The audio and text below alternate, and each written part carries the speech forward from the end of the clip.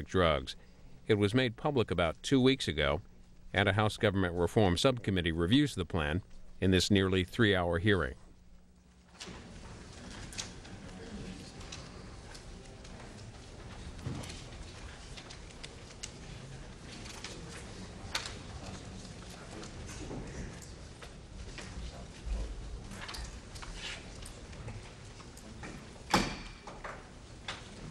Subcommittee will come to order.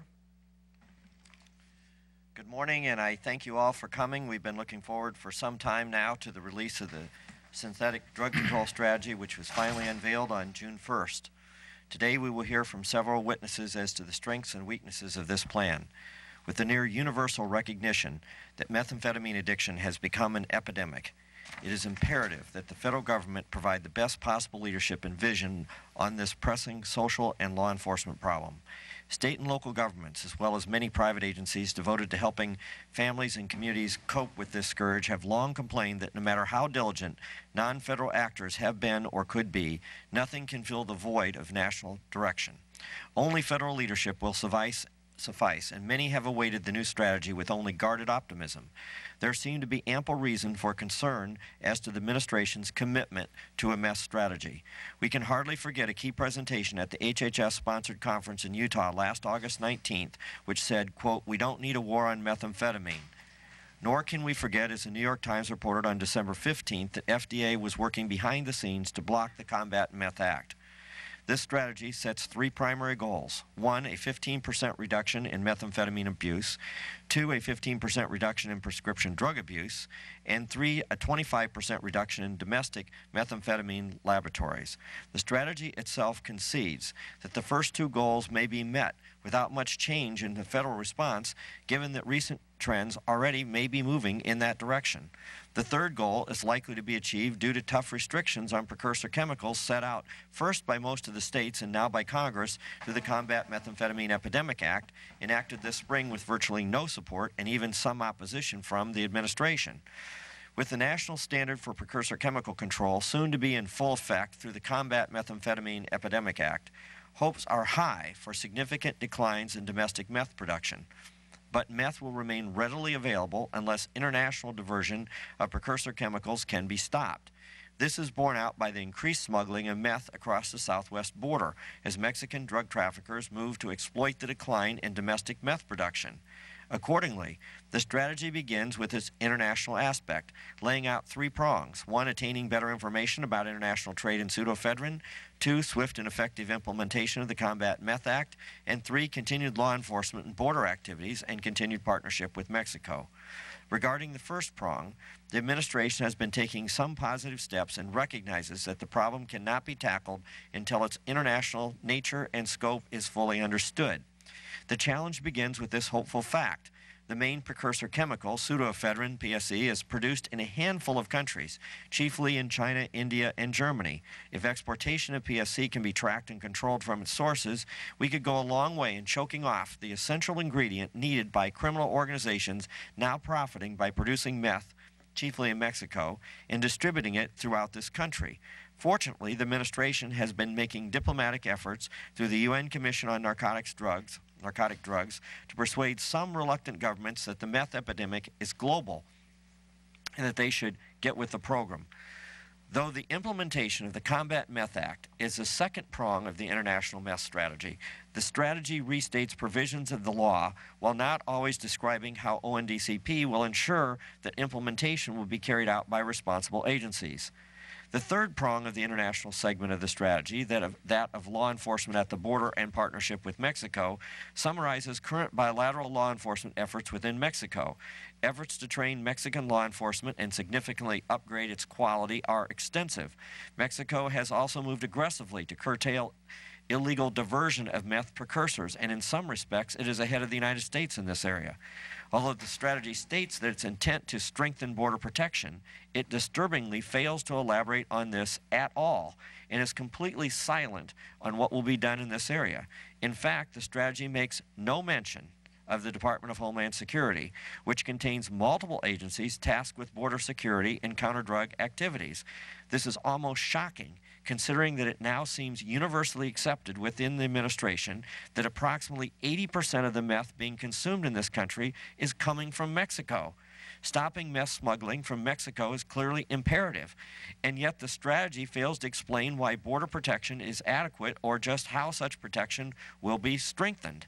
The domestic aspect of the strategy leans heavily on the requirement of working closely with state and local officials. The strategy acknowledges that the overwhelming majority of drug arrests and prosecutions, over 90%, are conducted by state and local authorities.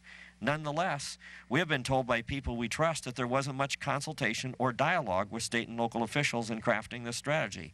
And while it touts the efforts of state and local authorities, the administration seeks to drastically cut the federal program which have been essential to state and local law enforcement.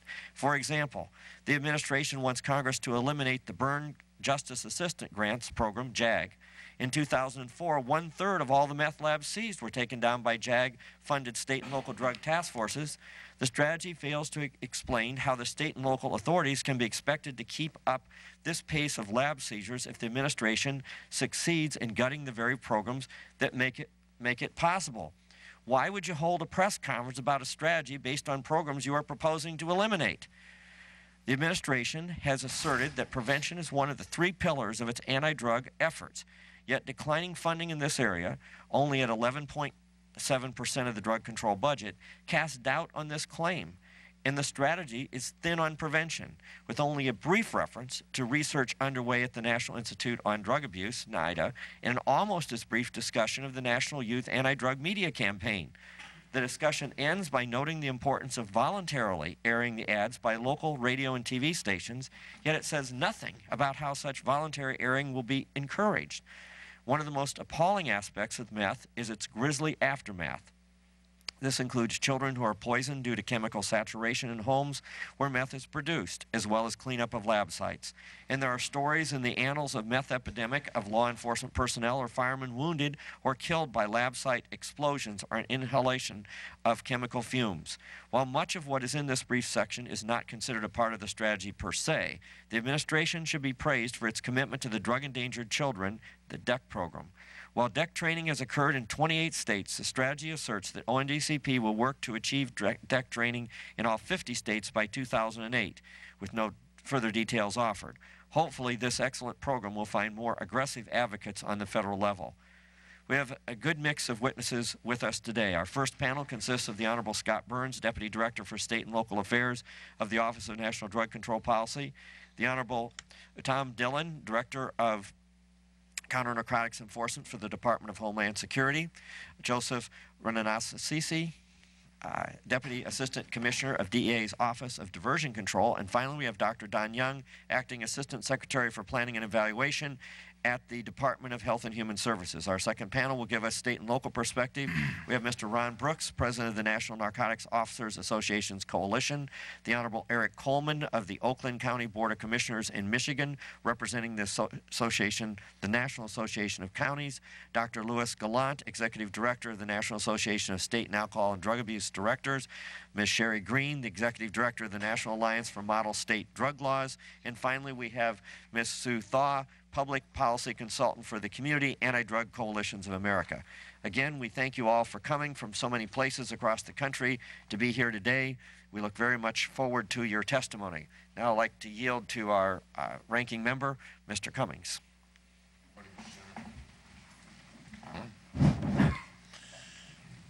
Good morning.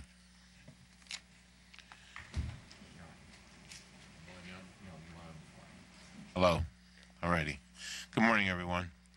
I want to thank you, Mr. Chairman, for holding this very important hearing today uh, to evaluate the administration's recently announced synthetic drug control strategy.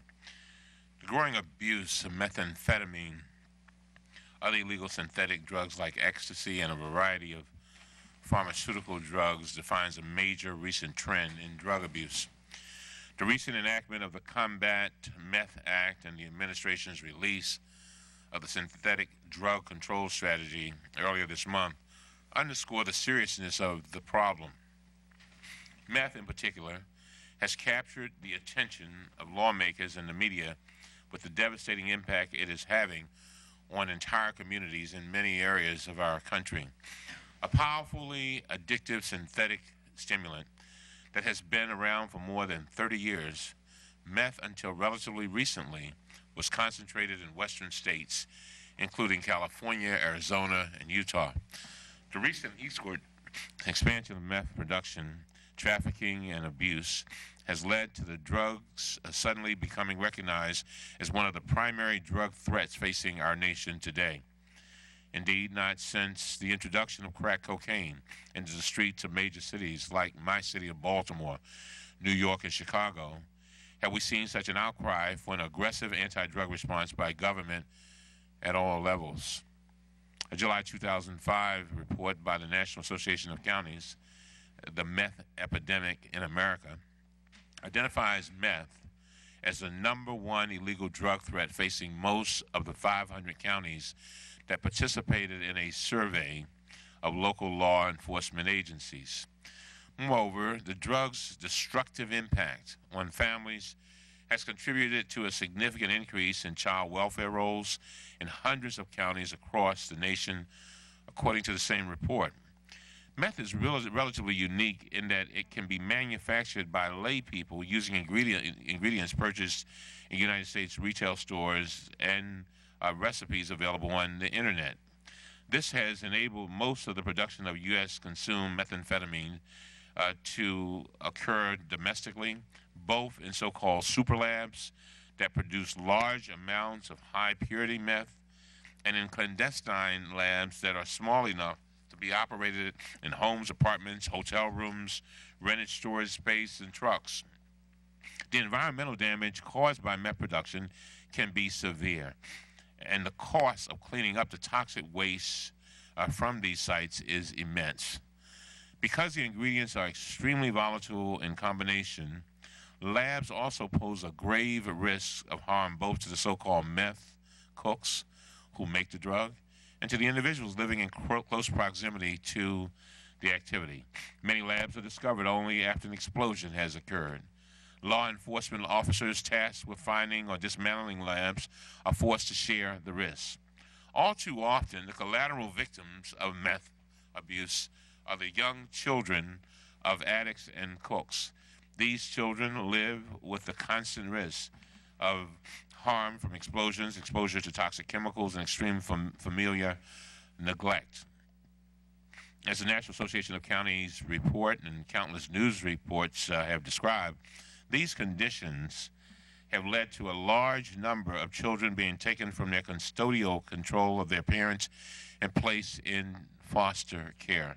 Sadly, the health and behavior effects that result from prenatal exposure to meth and from severe family neglect or abuse make the children of meth addicted parents especially challenging for foster care for, for foster families to care for and difficult to place. Absent effective treatment for the parents of displaced children, reuniting families torn apart by meth may be almost impossible. Meth abuse has not yet become a major problem in the communities of Baltimore City and Baltimore and Howard counties where I, that I represent. But the rapid spread of meth production, trafficking, and abuse in the United States underscores the fact that America's drug problem affects all parts of this nation, rural, suburban, and urban alike, and that no community is immune to the, to the introduction of a dangerous new drug threat.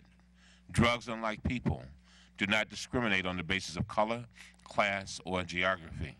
States have been at the forefront of efforts to develop effective policies and strategies to combat the growth of meth abuse, production, and trafficking in the United States.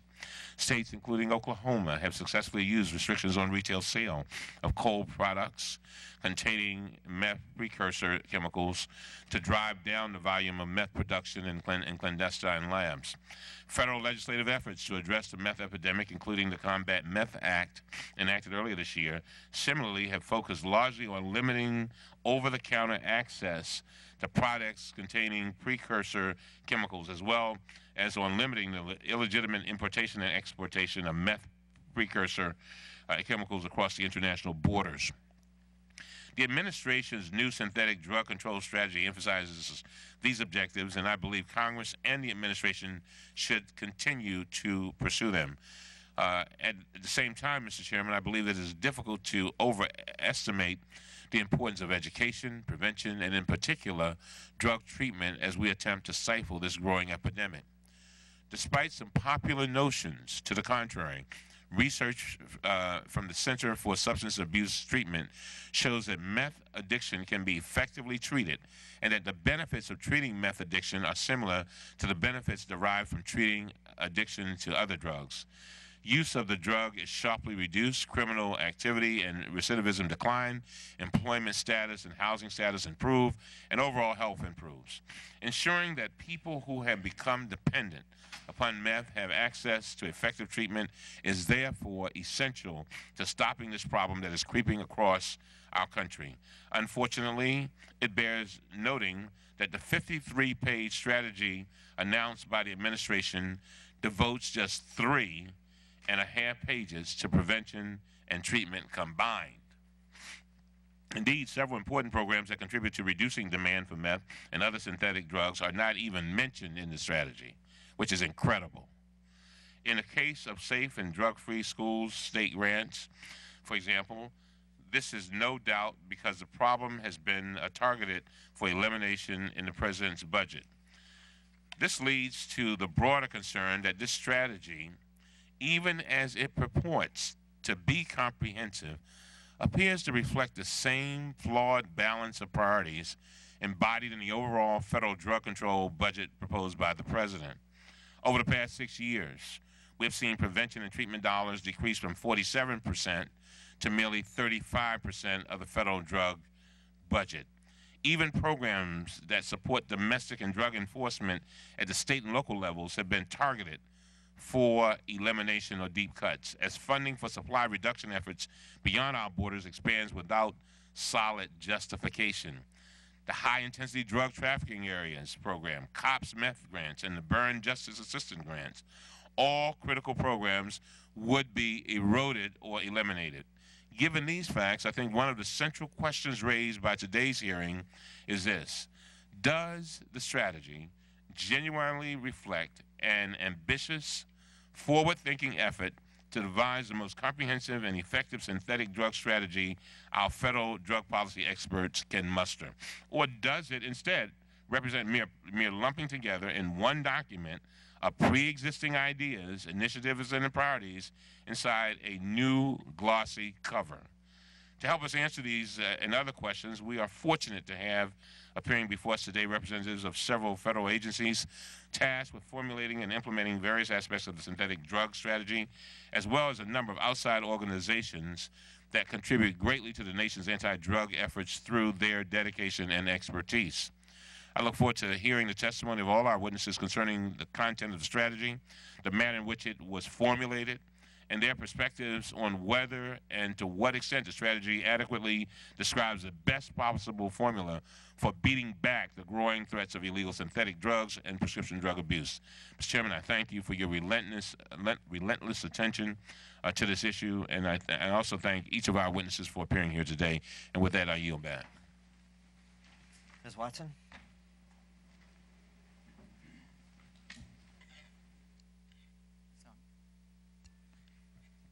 Mr. Chairman, I want to thank you for holding uh, this hearing that is critical to the understanding of the administration's heavily anticipated synthetic drug control strategy. Eliminating drug smuggling and distribution throughout the United States is vital in keeping our communities safe. There have been several programs unveiled by the public and nonprofit sectors throughout the United States these programs are going to be the next new innovation in helping us eradicate our drug problem. Some have been good and some have been not so good. None of them have been the ultimate problem solver. The new strategy set forth by the Office of National Drug Control Policy is very ambitious but not impossible if funding and resources are at a sufficient level. The three goals set forth in this strategy are excellent. If we could accomplish what the plan sets out, including 15% reduction in prescriptive drug abuse, 25% reduction in methamphetamine labs, and 15% reduction of methamphetamine use. It would be of great benefit to our people and our streets. While there are great goals, the question of how they are going to be met with the administration's funding uh, cut proposals need to be addressed. Can these goals be accomplished when the administration wants a $23.6 million cut in the Justice Department's community oriented policing services meth hotspots program? Can these goals be met when the administration wants to eliminate the Edward Byrne Memorial Justice Assistance Grant Program? My family, personally, has been affected by meth use. My niece, at the end of May, passed due to the abuse of this killer drug. It affected her vital organs. She had a hole in her heart. And from age 19 to age 22, we suffered along with her. The treatment programs we enrolled her in did absolutely nothing. Every method that we as a family and friends used to try and help her did not work. Prevention could have saved her. We lived in an upscale community in Sacramento. She lived with me, and we were right there. Did not notice until too late. Tried to save her and failed. So, a focus on prevention so users would not have to face treatment is essential. The administration states that prevention is an essential component of its three pillars of anti drug efforts. The decline of funding in this area has cast major doubts on their claim. If the administration is serious about creating a solution to this problem, fund each mandate sufficiently. And so I want to thank the panelists uh, for your willingness to come and testify before this subcommittee so we can understand how this new drug control strategy will be implemented in the midst of major cuts in funding. I don't want to see anyone suffer as my niece and her loved ones did. We must realize that drug use is international in scope, and for every one life that is lost to drugs, many are affected. So, Mr. Chairman, thank you so very much for this hearing today. Thank you, and thank you. You're back. And thank you for your uh, continued uh, aggressive and active interest in this committee. It's been truly a bipartisan uh, effort as we move through this and other uh, drugs, and we're looking forward to our, our, our hearing on treatment as, as well that's coming up in just a few weeks. Uh, first, I'd like to ask unanimous consent that all members uh, have five legislative days to submit written statements and questions for the hearing record, and that any answers to written questions provided by the witnesses also be included in the record without objection. It's so ordered. I also ask unanimous consent that all exhibits, documents, and other materials referred to by members and the witnesses may be included in the hearing record, and that all members be permitted to revise and extend their remarks. Without objection, it's so uh, ordered. Our first panel is composed of the Honorable Scott Burns, Deputy Director for State and Local Affairs of the Office of National Drug Control Policy, the Honorable Tom Dillon, Director of the Office of Counter Narcotics Enforcement, Department of Homeland Security, Mr. Joseph Rannazzisi, Deputy Assistant Administrator of the Office of Diversion Control of DEA, Drug Enforcement Administration, and Dr. Don Young, Acting Assistant Director or Secretary for Planning and Evaluation for the Department of Health and Human Services. As an oversight committee, it's our standard practice to ask witnesses to testify under oath. If you'll raise your right hands, I'll administer the oath to you. Well, uh, do you swear or affirm that the testimony you give today is the truth, the whole truth, and nothing but the truth, so help you God? Let the record show that all the witnesses have answered in the affirmative. Mr. Burns, thank you for joining us. You're now recognized for five minutes. Thank you, Mr. Chairman. Uh, Ranking Member Cummings, Congresswoman Watson. Uh, thank you for the opportunity to appear before you today to discuss the administration's synthetic drug control strategy. I want to thank the subcommittee for its strong bipartisan commitment to reducing the illicit use of all drugs.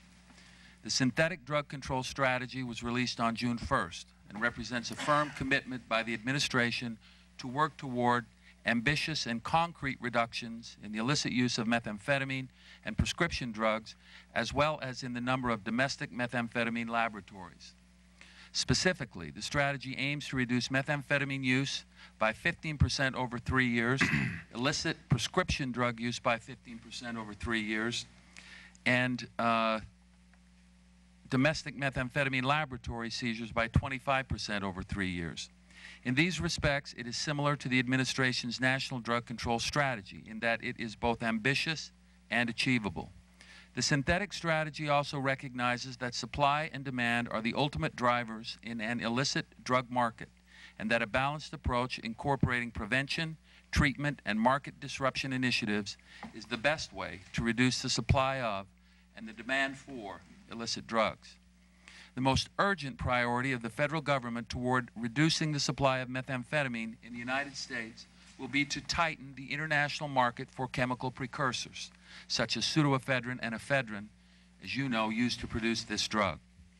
Towards this end, Office of National Drug Control Policy Director John Walters has met with ambassadors from China, India, and the European Union. The administration worked with allies in the international community to draft, promote, and adopt a resolution on synthetic drug precursors, particularly methamphetamine precursors, at the annual meeting of the United Nations Commission on Narcotics Drug.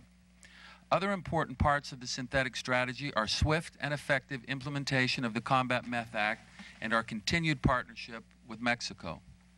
Domestically, the synthetic strategy recognizes the critical role that state and local law enforcement, as well as treatment and prevention professionals, play in addressing the methamphetamine threat. And in fact, I would be remiss if I did not recognize the role that state and local policy and law enforcement officials have played in addressing, in particular, the problem of methamphetamine production in the United States. The synthetic strategy contains a 10-part plan to enhance the federal partnership with state and local agencies related to methamphetamine, focusing on initiatives such as helping drug-endangered children programs expand nationwide, holding four regional and one national methamphetamine conference, and better sharing of data and assisting states in developing their own regional drug control strategies uh, related to synthetic drugs. The synthetic strategy also addresses prescription drug abuse the administration's ambitious goal of reducing prescription drug abuse by 15% by the end of 2008 must balance two general policy concerns. First, to be aggressive in reducing overall user abuse, and second, to avoid overreaching and avoid making lawful acquisition of medications unduly cumbersome.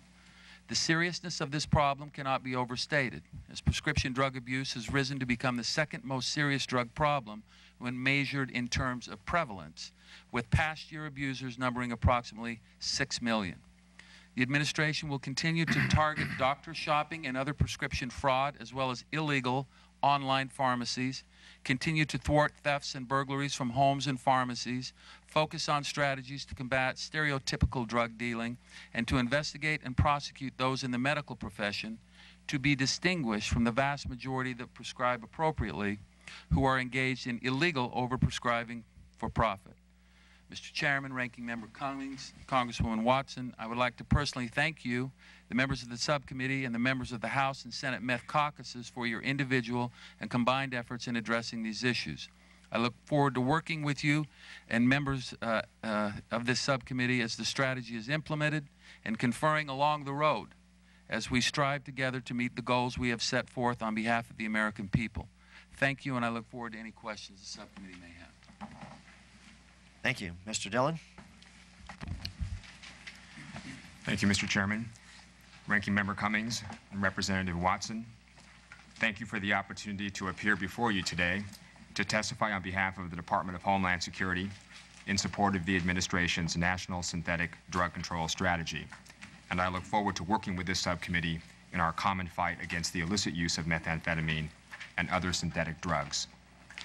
As the director of the Office of Counter Narcotics Enforcement, it is my responsibility to coordinate counter narcotics policy within the Department of Homeland Security and between the department and other federal departments and agencies. I understand that methamphetamine abuse is a serious issue facing our nation. According to a recent report by a national association, 58% of counties surveyed said that methamphetamine was their largest drug problem, followed by cocaine, marijuana, and heroin. Increasingly, the methamphetamine that supplies the U.S. drug market is produced internationally, and the Department of Homeland Security is committed to stopping the flow of methamphetamine and its precursors into our country. The administration's synthetic drug control strategy, like the National Drug Control Strategy, postulates a balanced approach by incorporating prevention, treatment, and market disruption initiatives as the best courses of action to reduce the supply of and demand for illicit drugs. The Department of Homeland Security is in a unique position to focus on market disruption through the strategic goals outlined in the Department's Secure Border Initiative, or SBI. The Department of Homeland Security's Secure Border Initiative is a comprehensive approach to border control and enforcement through the integration of technology, infrastructure, communications, and command and control designed to disrupt and dismantle criminal organizations by preventing and deterring cross-border crime, including, but not limited to, illicit drugs.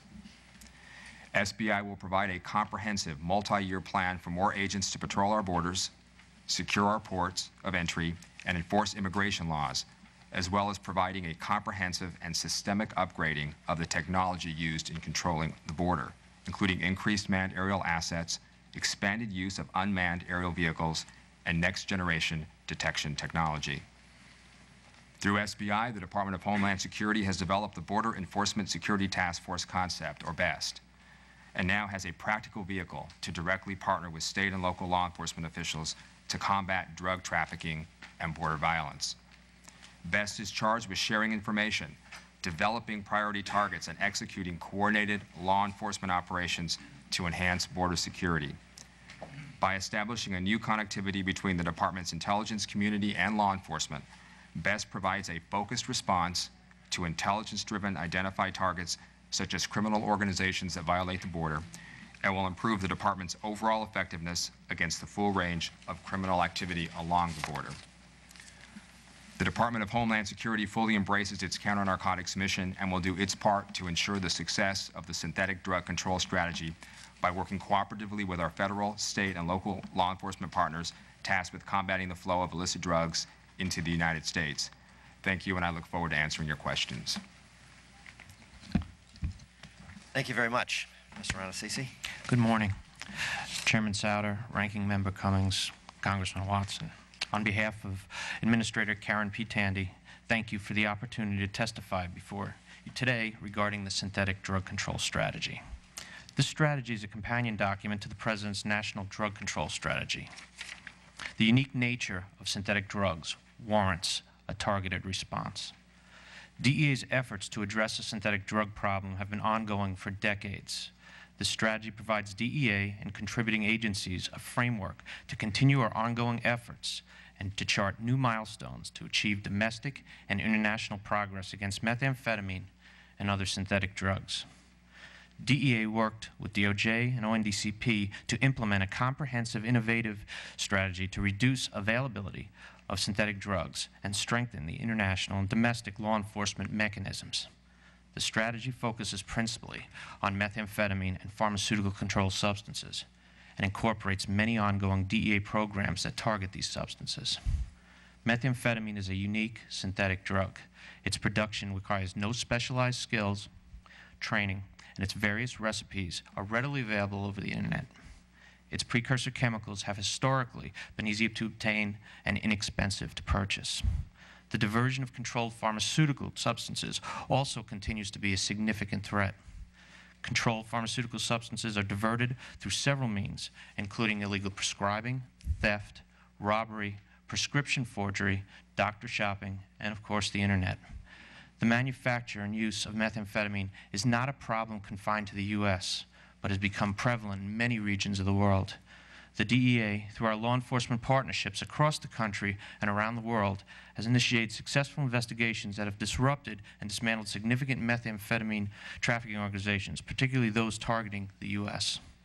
We've also taken an active role in fighting diversion of ephedrine and pseudoephedrine through both enforcement operations and international agreements. These initiatives resulted in a substantial reduction in the amount of precursor chemicals entering the U.S., but we have more to do internationally. DEA has a key role toward achieving the administration's goals set forth in this strategy. Chief among our tasks will be the full implementation and enforcement of the Combat Methamphetamine Epidemic Act of 2005.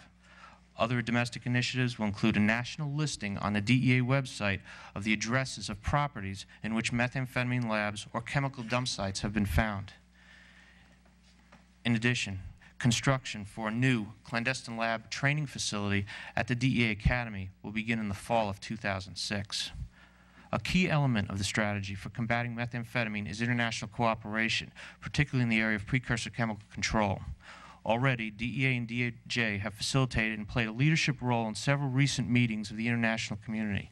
These meetings, such as the May 2006 National Methamphetamine Chemical Initiative Strategy Conference, where the Attorney General announced several new anti-methamphetamine initiatives, have helped increase awareness around the world and resulted in agreements to monitor and track key precursor chemicals. Several nations, most notably Mexico, also have taken independent steps to control methamphetamine precursors. Internet diversion of pharmaceutical controlled substances is especially difficult to investigate and overcome. Internet-based drug traffickers often mask their activities as those of legitimate online pharmacies. DEA's approach to pharmaceutical controlled substance abuse problems strives to balance two general policy concerns, reducing the prescription drug abuse while not making the lawful acquisition of prescription drugs unduly cumbersome. DEA is joined by the interagency community and responsible private sector entities in its effort to prevent pharmaceutical controlled drug abuse and diversion. By collaborating with internet service providers and companies, credit card and financial service companies, and express mail carriers to target internet-based drug traffickers, DEA is at the cutting edge of online drug investigations. Although recent DEA operations are indicative of our ability to target the largest and most dangerous organizations, additional tools are needed. More can be done to eliminate websites that have telltale signs of their illicit nature, and steps can be taken to ensure that the legitimate doctor-patient relationship includes a face-to-face -face consultation. DEA is fully committed in its role to meet the ambitious goals set forth in the synthetic drug strategy, control strategy. Chairman Souder, Ranking Member Cummings, and uh, Congresswoman Watson, I thank you again for the opportunity to testify and will be happy to address any questions you may have. Thank you. Thank you very much. Dr. Young? Good morning, Mr. Chairman, members of the subcommittee. I appreciate the opportunity to discuss the efforts of the Department of Health and Human Services in support of the administration's synthetic drug control strategy, a focus on methamphetamine and prescription drug could you, Dr. Young, could you move the microphone a little closer? I'm pleased to be here to talk about the HHS contribution to the administration's coordinated strategy for combating the problems of methamphetamine abuse. The synthetic strategy was released June 1st this year.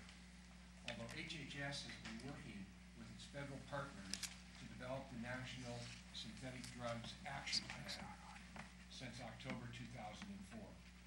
The synthetics Got it now. The synthetics strategy sets a goal of reducing methamphetamine abuse over three years, a 15% reduction in the abuse or non-medical use of prescription drugs over three years, and a 25% reduction in domestic methamphetamine laboratory seizures over three years.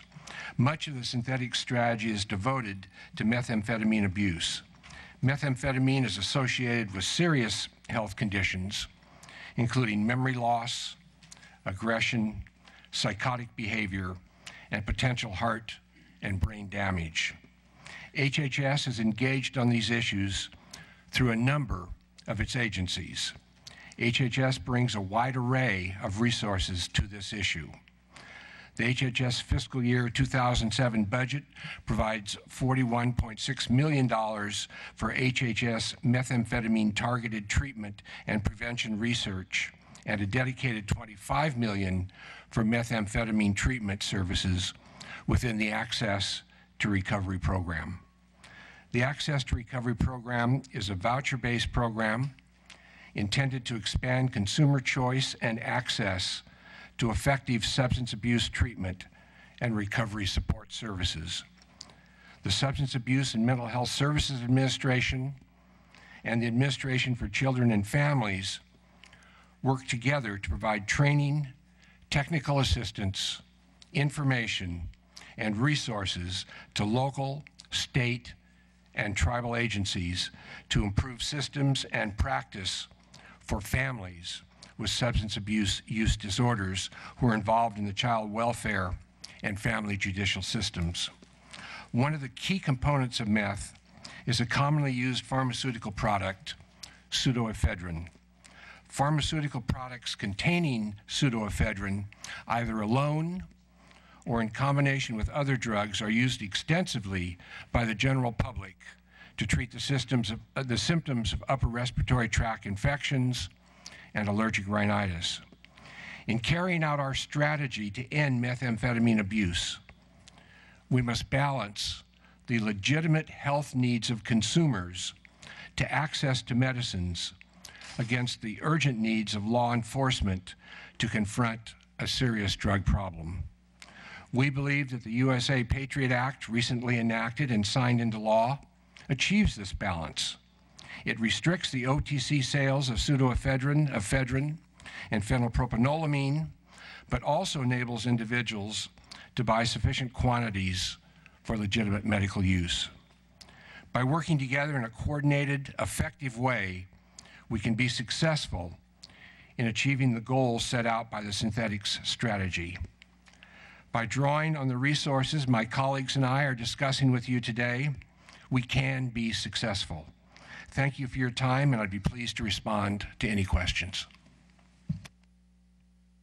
I thank each of you for your, your testimony and uh, the, the button on the microphones are counterintuitive. If it's up, it's on. If it's down, it's, it's uh, not.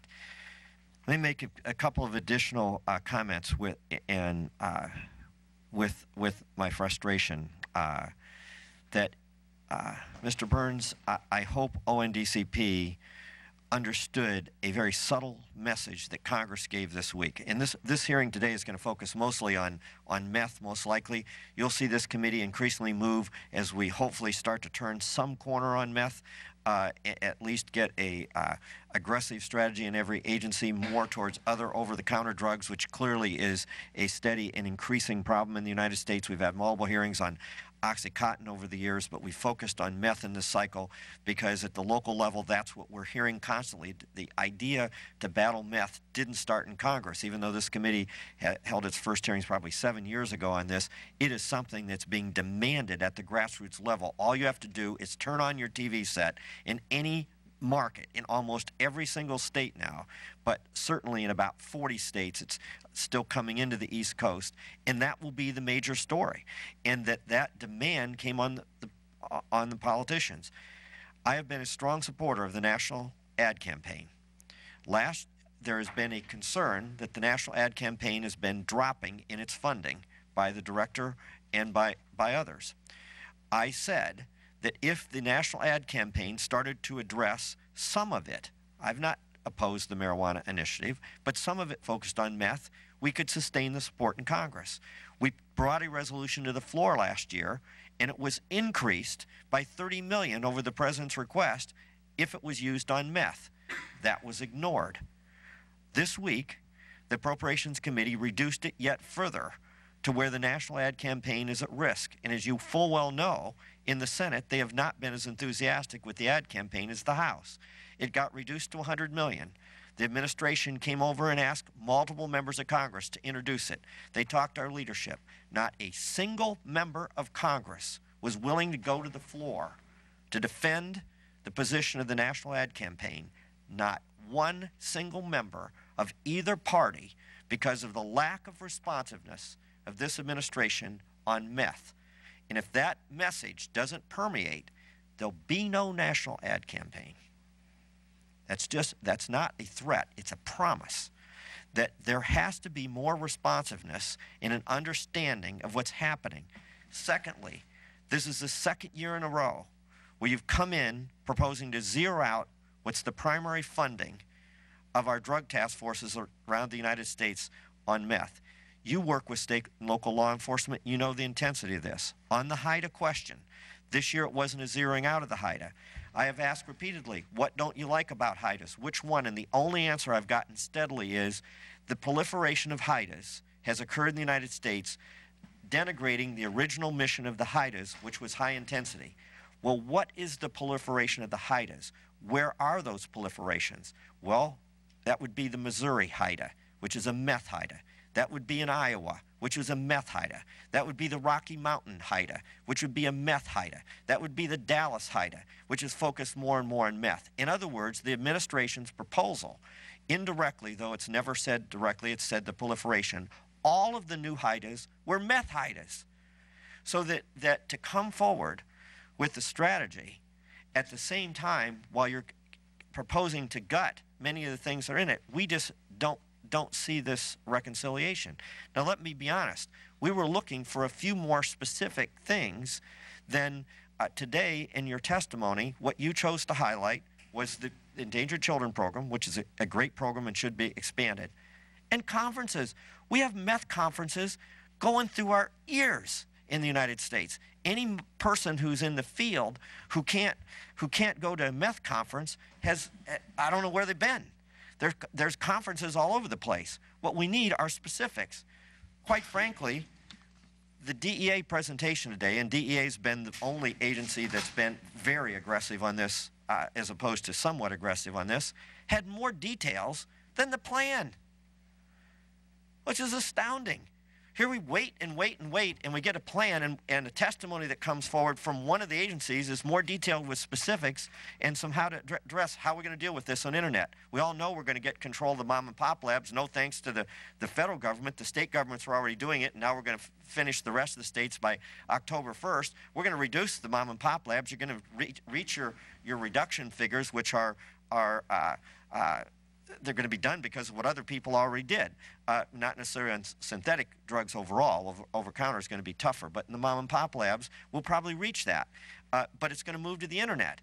Uh, the, there were a number of things in DEA testimony to try to address that. Now, uh, let me ask Mr. Dhillon, and I'm not holding you accountable because you're new. Uh, in the post, and we're glad to have you there. And Thank you. Uh, Thank you, uh, we've worked together on the Homeland Security Committee, of which I'm a, a senior member. Why would the Department of Homeland Security not have been more mentioned, or uh, uh, how, how do you see uh, this integrated? For example, uh, I'm making some suggestions to you, and I would like to hear some of your comments back. Um, DEA, uh, uh, Mr. Assisi made some comments about how they're looking at this. Clearly, one of the things, since you're both uh, in charge uh, at, Homeland Security of ICE, you're in charge of Coast Guard, and you're in charge of CBP. Uh, three of the major agencies with this. DEA would be a, a fourth that at the federal level provi provides uh, actual ground troops. Is there an awareness in the agency? Do you see an awareness of the agency to look at the data that you're picking up? For example, um, you're going to have the data of whether meth from Mexico is coming more across at Laredo or in the west. Are you going to look at that uh, data uh, and, and, uh, and work uh, directly with DEA on the intelligence uh, agencies? Is ICE going to connect up with DEA? How do you propose to do that? Is Coast Guard going to do it? Are you going to look at, because as we shut down the mom and pop labs, both the internet and the um, border are going to become the places where crystal meth is coming in behind. We see that in Oregon already. We see it in, in uh, Oklahoma. The states that did the pseudoephedrine control laws uh, have, have already seen the switch to crystal meth. It's coming your way. It's coming through all of your zones. Are you going to try to uh, separate out the data here? Are you going to work with it? Are you going to uh, work with particular strategies? Uh, are, are, your agents? I'm less concerned about a, a national conference than basically making sure that CBP and ICE understand that, that the meth uh, pressure is going to come at yours and you're, you're watching for that uh, and, and, the patterns. Well, uh, Chairman Souder, it's, I believe that it's my responsibility as the director of the Office of Counter Narcotics Enforcement to uh, to obtain that information, that data that you're talking about, and to ensure that the counter narcotics related components within the department have that data and are appropriately focused on uh, the meth threat. Uh, as you have pointed out, and I think as everyone has acknowledged, uh, methamphetamine is now largely moving across the borders, which makes it a Department of Homeland Security issue. And as far as I'm concerned, a Department of Homeland Security pri priority in the counter narcotics realm. Um, so the answer to your question is yes, we will be looking at the data and we will be uh, ensuring that the counter narcotics related components that you've mentioned have that data and we will be emphasizing the, uh, the importance of including methamphetamine interdiction uh, in the overall counter narcotics strategy. Uh, Dr. Dr. Young, one of my uh, concerns, uh, and I've talked to Director Curie about this as well, um, is is that uh, methamphetamine, uh, one of the the pattern differences is it tends to be less so for crystal meth, but where it's been so far in mom pop Nazi labs tends to be in the most rural areas of America, uh, that uh, where the drug treatment programs are in fact least sophisticated. Uh, much of the, the type of, of uh, approaches that HHS recommends and SAMHSA recommends are, are uh, uh, fairly complicated. And, and when Director Curie came into my district, the only group that was implementing it was in Fort Wayne, where they've only had basically three or four cases of meth. One of the, the uh, outlying mid-sized cities had been at a conference where that subject was discussed, and the rural area that was hardest hit with meth had the least, the most underpaid, the just out of school trainee who hadn't even heard of the concept. Is there an understanding in HHS of, of uh, these two variables? One is is that um, uh, this uh, the the one type of phenomena tends to be a rural phenomena, often coming out of uh, where there are national forest areas or more rural places because of the smell of labs. They hide out there, and then the second, as the the uh, crystal meth comes in, uh, the uh, you have a different type of pressure, and that may become a more urban pressure, although some of the rural areas may pick it up.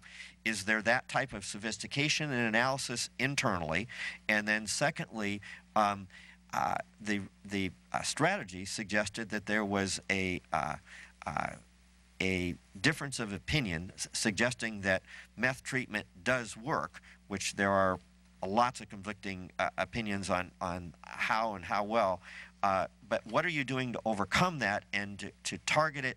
Are you saying that the same treatment programs work for meth that work for elsewhere? Are they particular treatment programs with variations? Uh, is, uh, uh, and could you address some of those type of uh, questions? Yes, I would imagine that Mr. Curie gave you a response to that as well. The whole problem of healthcare delivery and substance abuse treatment as a subset of healthcare delivery in rural areas is an extremely difficult one. It's one both of resources, as you point out, and, and how to get resources in adequate amounts, but it's also of manpower and skilled people, which you pointed out you can attempt to deal with some of that through other kinds of social programs, transportation support, but that has limited value as well. So I think, yes, there is a realization about that in the, in the department. Uh, that realization goes far beyond simply methamphetamine to other drugs, but to other healthcare services in rural areas. Uh, very different set of problems than uh, in the inner city, although the inner city has problems as well. They're just very different kinds. So, yes, I think we are aware of it. Um, on the issue of, uh, of treatment, um, it's very clear treatment does work. Treatment is very difficult. It's very difficult for any substance abuse problem, uh, and that includes methamphetamine. But when one looks at treatment, one also has to look at treatment in the context of the individual, the family, their lifestyle, where they live. If you treat an individual and they go back to the environment that they were living in prior to treatment, their chance of recidivism is much greater. This has to be an integrated approach. Uh, as I mentioned in my testimony, uh, the problem that uh, ACF is dealing with and families, this is a family problem, an individual problem, a medical problem, a social problem, and it has to all be approached together. It cannot be, be approached from a single facet.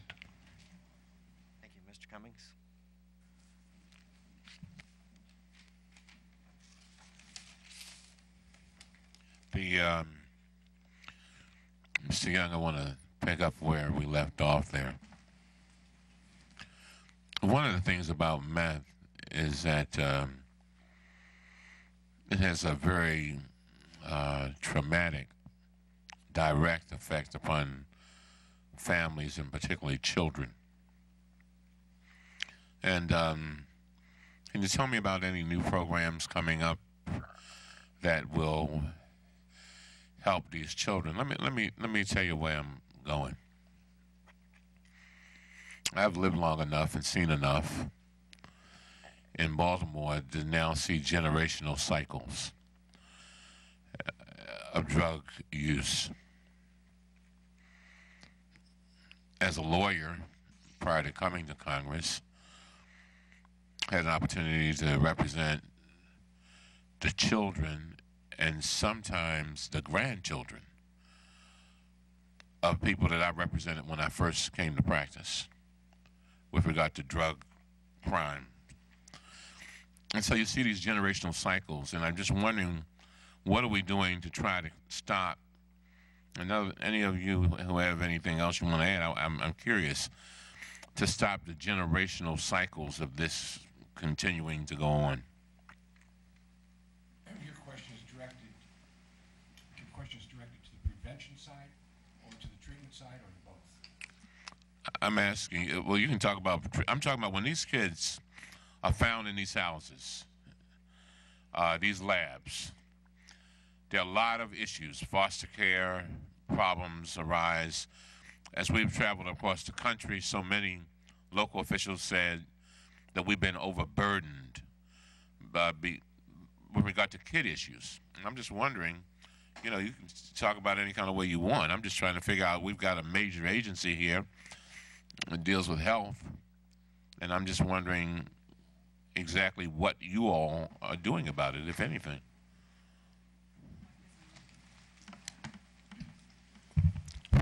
The um, various parts of the department, but in the issue of the children, it would be the Agency for, for Children and Families that are involved.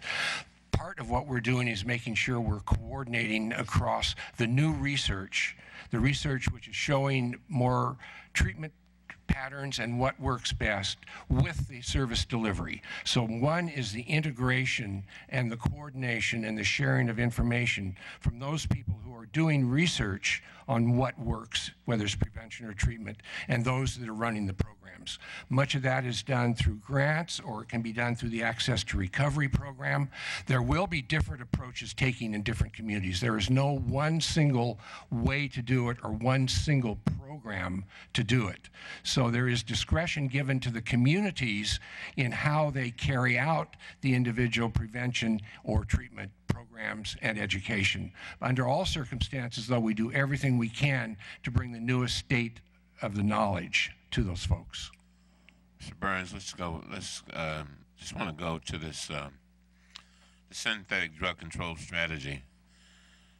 Um, Dr. Young, by the way, I'm going to get back to you. Uh, I, I think I want a little bit more information. We can, um, perhaps you can do it in writing, but um, I, I, was not satisfied with your answer. But let's let's go on. We have a limited amount of time. Um, can you explain to me, Mr. Burns, exactly? And I know we're going to be talking later about uh, at another hearing about treatment, but help me understand how only three and a half pages were of the synthetic drug control strategy was devoted to prevention and treatment. What I mean is that what what happened? I mean, is it? Well, Mr. Cummings, the strategy is balanced. Uh, there are no monumental breakthroughs with respect to treatment protocols. I think that one of the things that we uh, all agree upon now, you mentioned uh, in your opening statement, that people suffering from uh, the disease of addiction to methamphetamine can be treated. And there are successes every day uh, across the country. Uh, the intent of the strategy was not to equal the pages uh, so that 11 pages were for treatment and prevention, 11 for supply reduction. It was a strategy that is comprehensive with respect to what we are facing uh, today. And in that respect, let me say this. Uh, and Well, since we got, since we have all this balance here, why don't you just specifically tell me what the prevention and treatment strategies are? Go ahead. I'm, I'm listening. You said, you said, I said three and a half pages. You said, well, all those three and a half pages out of 80 something is balanced. Fine. Tell me what they are. What, what do we have new here? I mean, the people who are looking at this right now, who are sitting in their neighbor, in their rural homes, and the mayors and city council people trying to figure out, have some hope that they can deal with a problem that is devastating their communities. And I've got one of the top drug people in the nation, and just a wonderful expert, and they are looking to hear from your lips. They want to get past the three and a half pages. And so let's talk about the balance. I mean, what? Talk to me. The, the response would be a $12.7 billion request from this president and this administration, which is 80 million more than Congress enacted last year. So that's a start. The second thing I would say is uh, On, on overall federal drug control budget. We have to start somewhere. We start with the premise that the commitment from this administration against uh, illicit drug use in this country is larger than it's ever been. With respect to treatment, uh, some uh, $4.5 billion uh, requested by the president in 2007. Now, let me, let me address the question about mayors and people sitting in cities. This administration and the director of the Office of National Drug Control Policy for two years now has sent me and other deputies and a large uh, uh, amount of staff to 25 plus major cities in this country, including Baltimore, including Sacramento, including Indianapolis. And we have sat down with mayors and chiefs of staffs and, and police chiefs and treatment and prevention folks. We've talked about do you have community coalitions? Do you have drug courts? What's happening with your Byrne grant money? Is there a balance in your particular city? For the first time, uh, we've had a national discussion about how federal, state, and local monies are applied uh, against the threat in a particular city. Well, let me, can we, can we, let's put a pin right in that. When you meet with all these wonderful elected officials and, and, and community people, did they tell you that the HIDTA, did they tell you that the HIDTA and the COPS grants and should be uh, reduced, elimination of the Byrne grants? I mean, did they tell you that? Didn't hear that. You didn't hear that. They did not tell us that they were in favor of reducing Byrne grant or HIDTA. I'm Did you ask them how they felt about it? I mean, these, these are the people who are on the front line. These are the people that we have to, to face. These are the people who are suffering and trying to keep their communities together. I, and I applaud you. I, I really do. I think it's wonderful that you went to the 25 uh, areas. I mean, I think that's great. The question is, is not the visit, it's what's happening during the visit and what kind of interaction there is because as the chairman has said, there are people who are crying out and they're asking us to do something and we're trying to get things done. We want to lose, use the taxpayers' dollars effectively and efficiently. You're telling me you're doing these, these wonderful tours, but I'm wondering, number one, are you presenting to them, saying to them, this is what we're proposing to do and this is why we think it's going to work? And then I want to know what they're saying back to you. I, and, and, I, and, I, and I can guess the reason why you're not hearing this is because a lot of them are very much opposed to this stuff. Let me tell you one thing that they're all Then let me ask you one last question. Then I, I want to hear your answer. It's one thing to, for us, to, for all of us to sit in, you know, nice offices and whatever, and feel real good about what we're doing, and you know, read nice reports and put them on the shelf, whatever. It's another thing for that person who is out there dealing with this every day.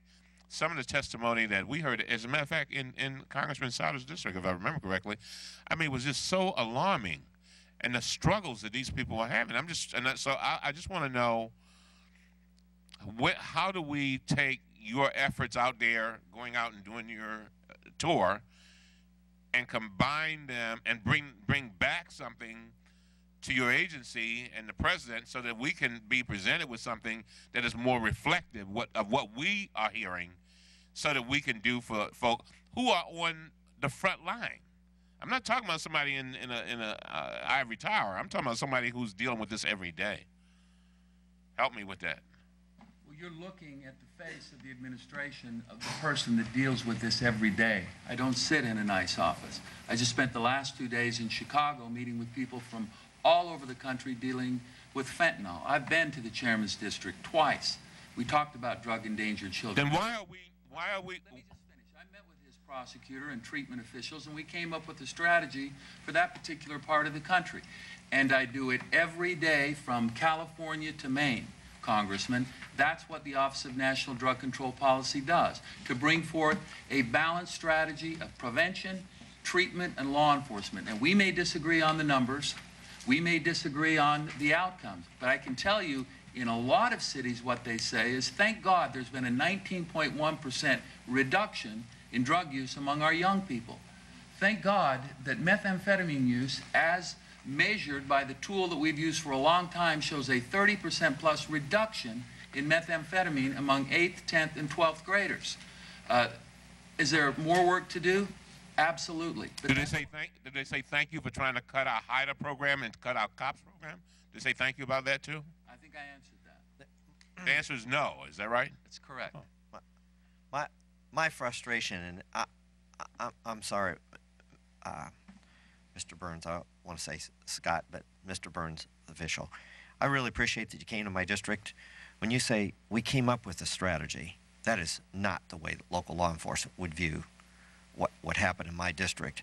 There, they were already working on it. They don't view that ONDCP or that the meetings we held, which were good, came up with the strategy for meth. That was a uh, slight over exaggeration of, of the meetings that we held. And, and uh, uh, secondly, um, when Mr. Cummings asked you what you were uh, proposing to do on meth treatment, you didn't say anything. You didn't. You had no answer. You you filibustered for a little while, but you had no answer. Uh, I think a, a better representation of what ONDCP's position has been, not necessarily yours personally, was to say we don't like to do strategies on specific drugs, which you had in the uh, official testimony. And uh, because of that, it's very hard to answer. In a couple of weeks, we're going to be holding a hearing in Montana. Um, I venture to say that I will be asked, be able to ask every single witness a question like what Mr. Cummings just said. What are you doing on treatment? And they'll give a specific answer. There, a businessman went into Montana who wasn't from Montana. Now, we're trying to figure out what impact it's had and how it's what all that type of uh, those type of questions. But bottom line is they're going to give specifics. They're going to say we put money in an ad campaign. We did this on treatment. We're doing this in the schools. We're having kids do pledges. This is our mess strategy. That's what we're looking for here, not some compilation of what Congress has passed and what state and locals are going to do, which, by the way, the administration proposed to cut. And that's part of our- frustration. Ms. Watson? Can I respond to that briefly? Yes. And, and because you brought up the National Youth Media Campaign a couple of times. Uh, Director Walters uh, launched uh, methamphetamine ads. As you know, they're targeted towards 23 major markets uh, in this country. Uh, I think that uh, the dialogue that you and others, members of this subcommittee, had with Director Walters, uh, it- it's been positive. And, What and was the those total? ads are, are, are going forward today. What was the total amount? I think 23, oh, the, the amount of the money?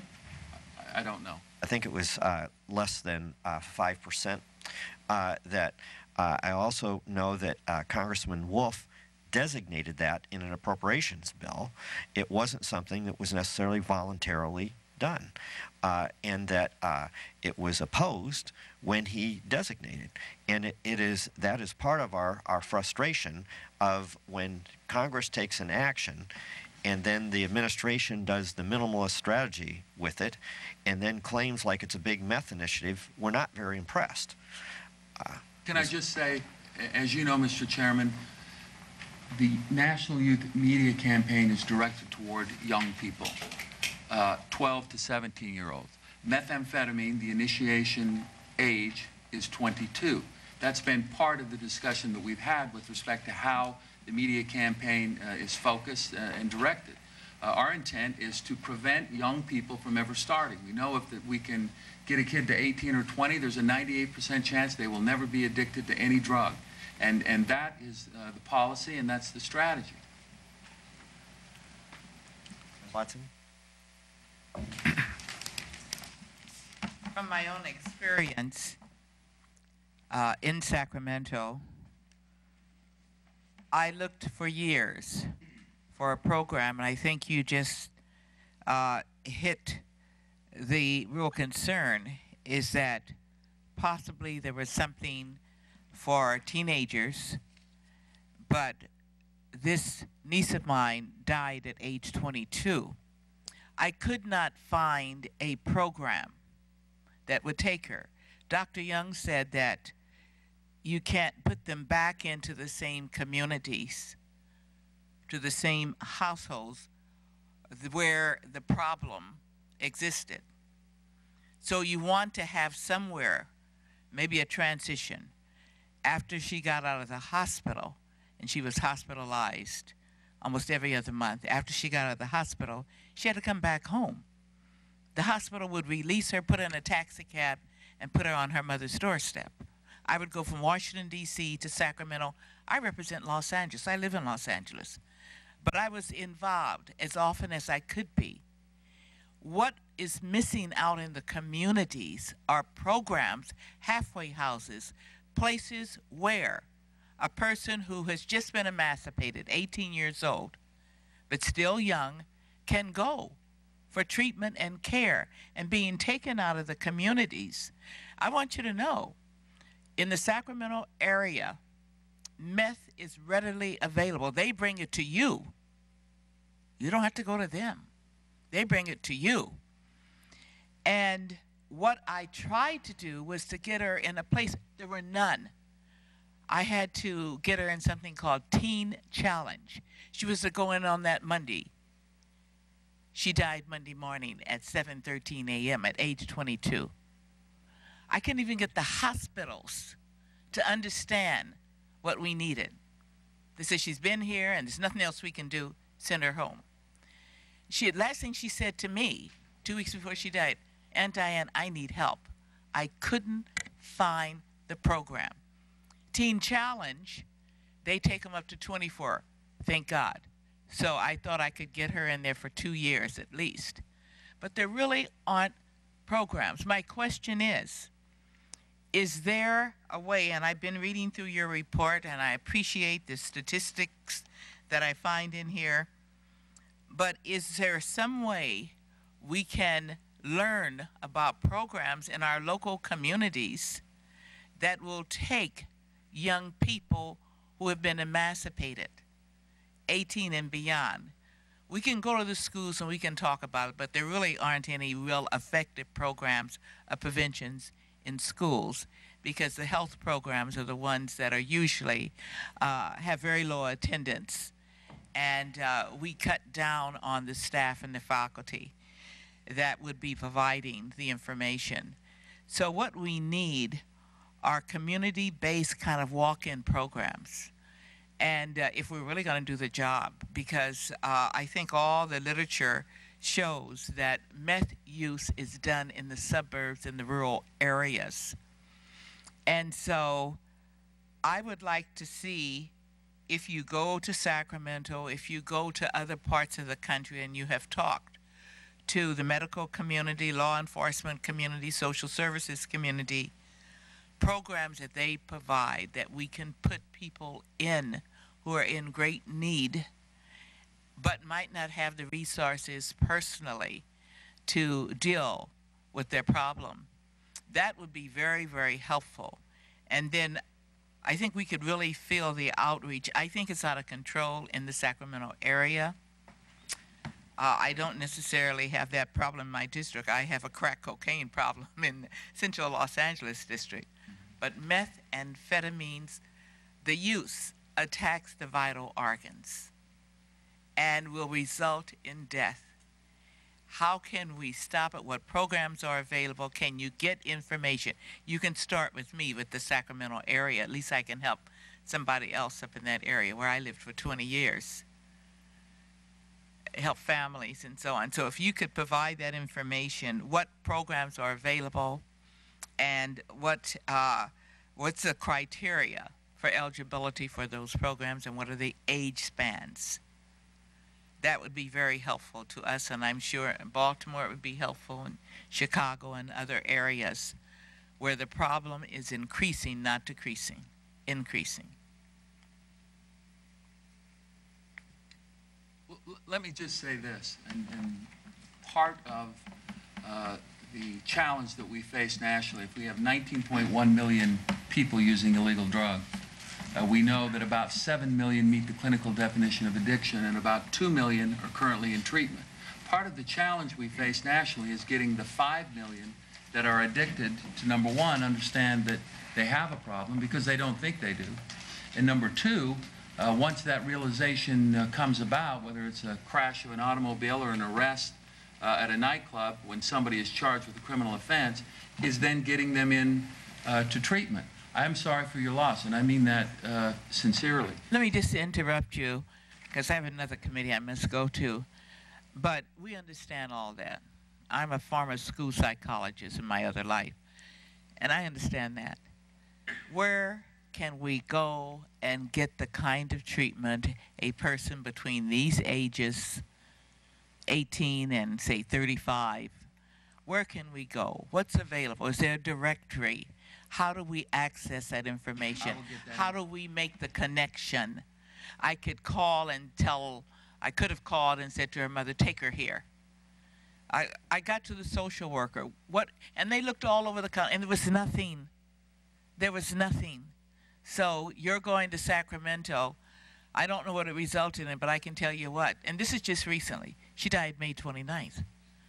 You see, there was nothing except Teen Challenge, and they stretched it to let me get her in there. Well, I will provide for Thank you you. the information with respect to treatment that's available in That's Sacramento area. what I need. But I just wanted to finish my point.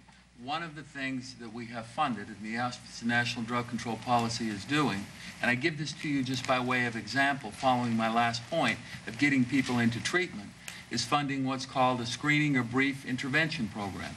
We have professionals in emergency rooms and in, in uh, Division of Family Services offices trying to identify those people that are suffering uh, from addiction and then get them into treatment. So there, there is a national effort to help those that uh, uh, are undergoing this condition.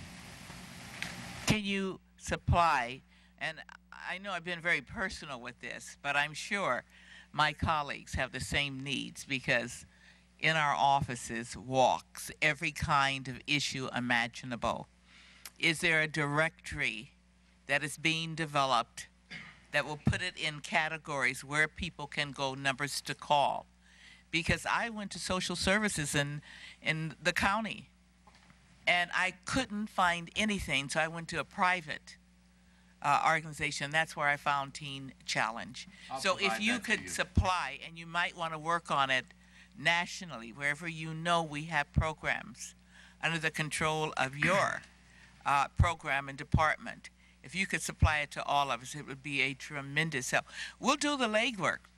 Don't mind doing that. But we need to know on the end of the other end of that, there are those resources. Thank you. We're going to be voting uh, uh, shortly, but I wanted to ask uh, uh, Dr. Young uh, one question. We may have some additional uh, written questions from each of us as well. But we had contacted um, FDA about what you were doing on pseudoephedrine and, and precursor chemicals um, some time ago, and then received a letter back saying that was DEA that's in charge of that. But in your testimony, you stated that uh, FDA was was co-chair of the with DEA. You said foreign pseudoephedrine co-chaired by FDA and DOJ, online diversion co-chaired by FDA and DEA. Uh, that um, if um, when we contacted you, you said, "Oh, we're, we're not involved in this. This is DEA." What are you doing in those areas? I'll have to get back to you information for the record, uh, so I'll gather that together and get back to you for the record. Okay, I I would appreciate that because we had this outstanding letter from a number of months ago and we just heard back before the hearing that, oh, we don't do that, but your testimony says you do, and we'd like to get that reconciled. Thank you very much. Uh, and I, I want to thank uh, each of you for uh, what I know is is is hard work. I know in Department of Homeland Security will be be continuing to track in, in your position uh, as we, we see this become more and more of a border issue and a, and a uh, issue re related to uh, how it's getting into the United States. Your agency is going to be critical with that.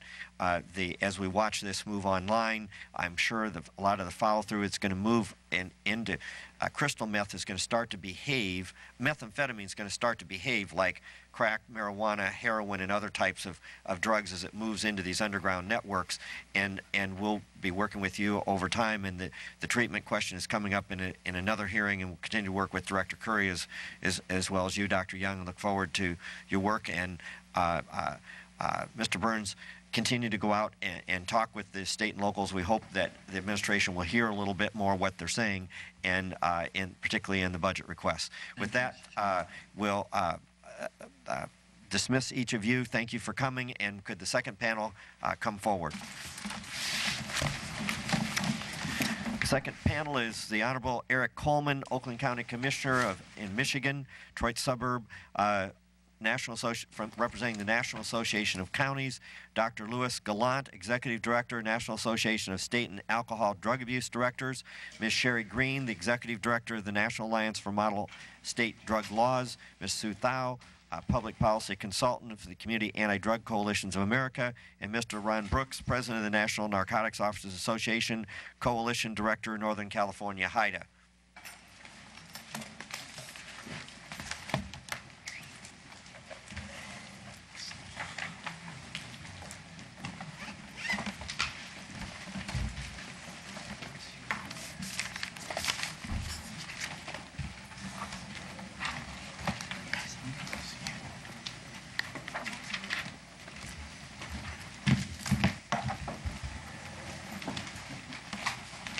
As a oversight committee, it's our standard practice to swear in all witnesses if each raise your right hand. Do you swear affirm that the testimony you give today is the truth, all truth, and nothing but the truth, so help you God? Let the record show that each of the witnesses responded in the affirmative. We thank you each for coming, and Mr. Coleman, we'll start with you. You thank can move you, if you can move the mic. Uh, Ranking Member Cummings for allowing me to appear this morning on behalf of the National Association of Counties on this critical issue of methamphetamine abuse and the recent release of synthetic drug control strategy. My name is Eric Coleman, and I am a county commissioner from Oakland County, Michigan. In addition, I am currently serving as first vice president of the National Association of Counties. The National Association of Counties, or NACO, is the only organization that represents county government. With over 2,000 member counties, we represent 85% of the nation's population. Abuse of a methamphetamine, or meth, is a growing issue for counties across the nation. It is consuming a greater share of county resources because of its devastating and addictive nature. In response to the administration's new synthetic drug control strategy, I would like to make two key points. First, NACO commends the administration for now recognizing the dangerous threat posed by methamphetamine and the developing and developing a synthetic drug strategy to deal with this threat. However, NACO believes that the state and local government and local and, and law enforcement should have been consulted during the development of this strategy. Second, NACO hopes that this strategy will translate into future budget requests for programs that are critical to fight methamphetamine abuse, such as the Justice Assistance Grant Program, the High Intensity Drug Trafficking Area Program. To illustrate the severity of the meth crisis, NACO commissioned four surveys on the impact to county government. Very briefly, our results have found that the meth is is a top drug threat facing county sheriff departments. That meth is leading to the alarming number of child out of home placements. That meth is a top drug seen at emergency rooms, and that the need for meth treatment is growing. These statistics confirm that meth is a national crisis that requires national leadership and a comprehensive strategy to fight this epidemic. Consequently, we would like to commend the administration for recognizing the challenges of meth crisis, crisis, crisis and put forth a plan. However, a major weakness in this strategy is a lack of input from state and local governments and law enforcement. We hope that this, this, this regard for state and local stakeholders can be remedied by the four inclusive meth sum summits that are planned for 2006. If we had been consulted, NACO would have told the administration that their timeline to address the environmental dangers of meth production and use is unacceptable. The administration's plan to release voluntary cleanup standards in January 2011 is far too late. NACO has been a champion of the House passed Meth Remediation Act and hope that the Senate will pass the bill soon. These guidelines are desperately needed to provide direction to state and local governments and property owners on how to clean up a former meth lab. Additionally, the strategy fails to mention the Substance Abuse Prevention and Treatment Block Grant, which amounts to about 40% of the total public funds spent on drug abuse prevention and treatment. NACO urges Congress to increase funding for this important program. In contrast, NACO views administration's commitment to tighter, tighten control on the distribution of bulk pseudoephedrine on the international level as a positive. As a proponent to combat Meth Epidemic Act, which you sponsored, Mr. Chairman, we applaud their pledge to fully implement the legislation. Also, NACO supports the, the de development and training of additional drug endangered child children teams. These teams play a vital role in responding to the needs of children affected by meth. For this strategy to be an effective tool, the administration must commit additional resources to meth-related programs, such as local enforcement, treatment, and prevention. Programs such as JAG and HIDTA are critical to the local law enforcement's ability to tackle the meth crisis. They have proven to be effective, and we urge Congress to reject the administration's budget proposal on these programs. Without a change in future budget requests for meth-related programs, this strategy will be nothing more than a government document sitting on a shelf. In conclusion, I would like to thank you for the opportunity to appear before you today. On behalf of NACO, we will be conducting further surveys on meth abuse and look forward to reporting our findings and working with you in resolving the meth crisis in this country. Thank you, and I will be happy to answer any questions you might have. Thank you, Dr. Gallant. It's good to have you back. Thank you, Mr. Chairman. Chairman Souder, uh, Ranking Member Cummings, and Congresswoman uh, Watson. I am Dr. Lewis Gallant, Executive Director of the National Association of State Alcohol Drug Abuse Directors, or NASADAD. Thank you for your leadership in seeking input regarding the synthetic drug control strategy. NASADAD members have the frontline responsibility of managing our nation's publicly funded substance abuse system. NASADAD's mission is to promote effective and efficient state substance abuse systems. The association's number one message is this. People suffering from methamphetamine addiction, just like those suffering from addiction to other substances of abuse, can recover and do recover. This message of hope, grounded in science, proven through data, and illustrated every day by countless Americans living in recovery, serves as the linchpin of our work.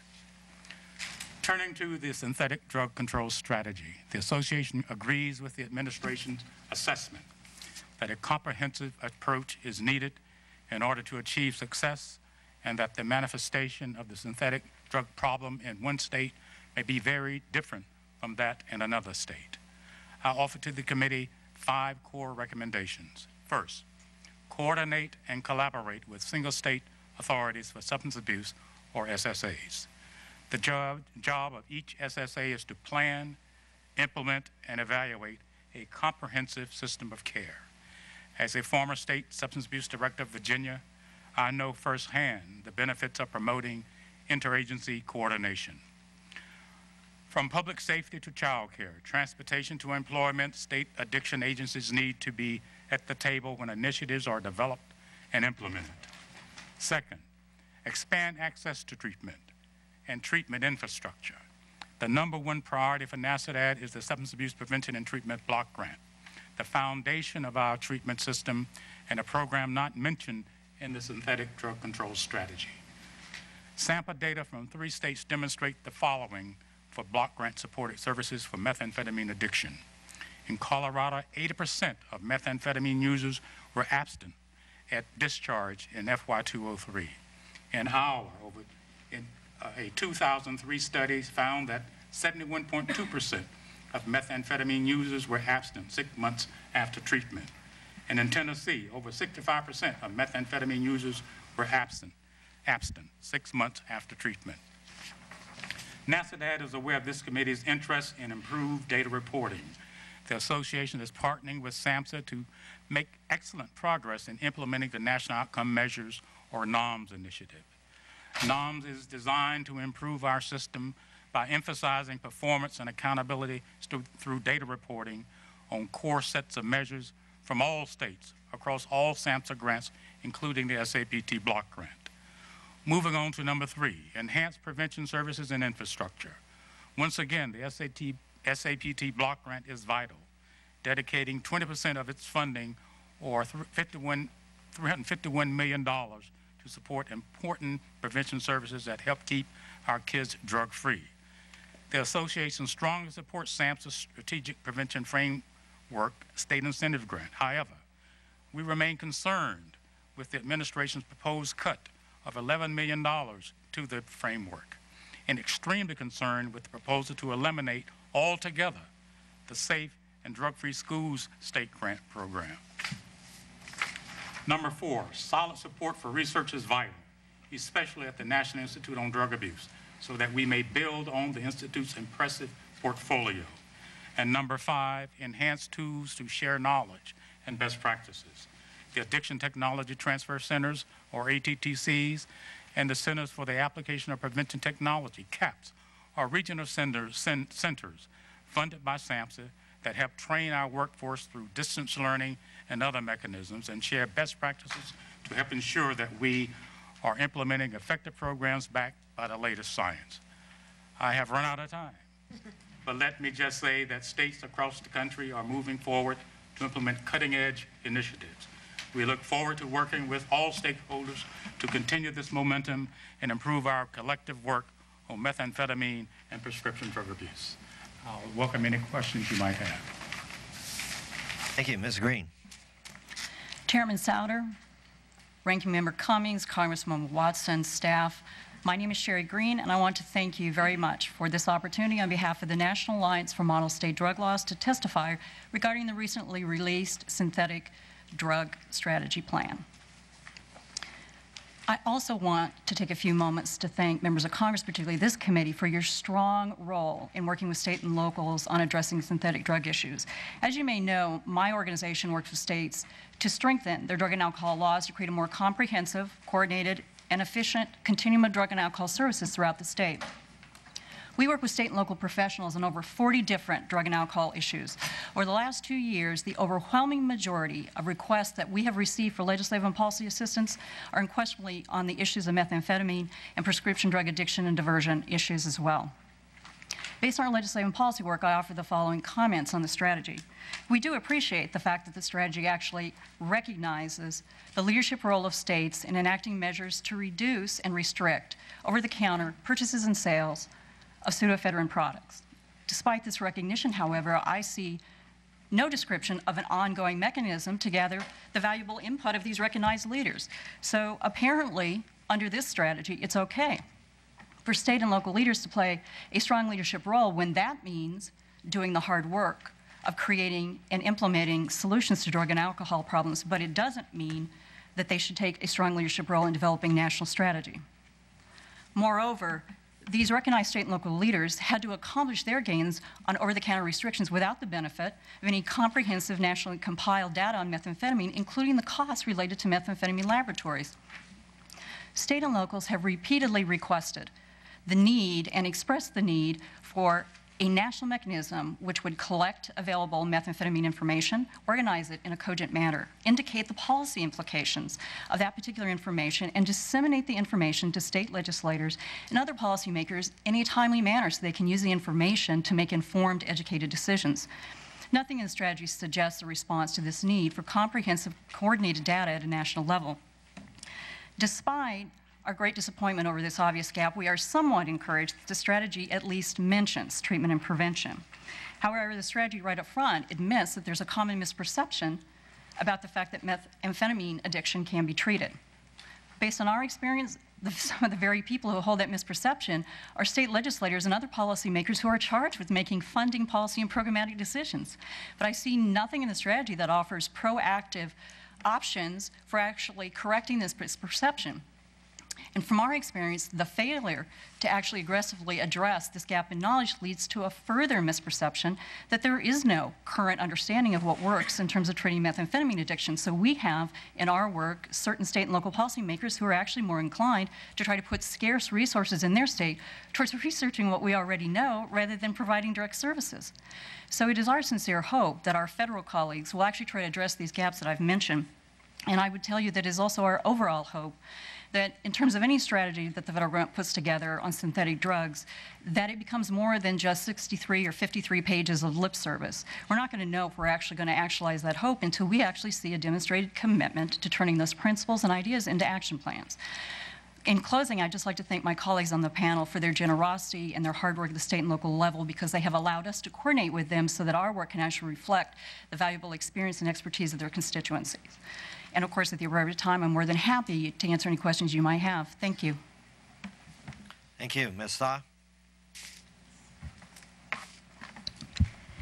Chairman Souder, Ranking Member Cummings, Congressman Watson, Thank you for the opportunity to testify today on behalf of Community Anti-Drug Coalitions of America and our more than 5,000 coalition members nationwide. I am pleased to provide you with CADCA's perspective on the synthetic drug control strategy.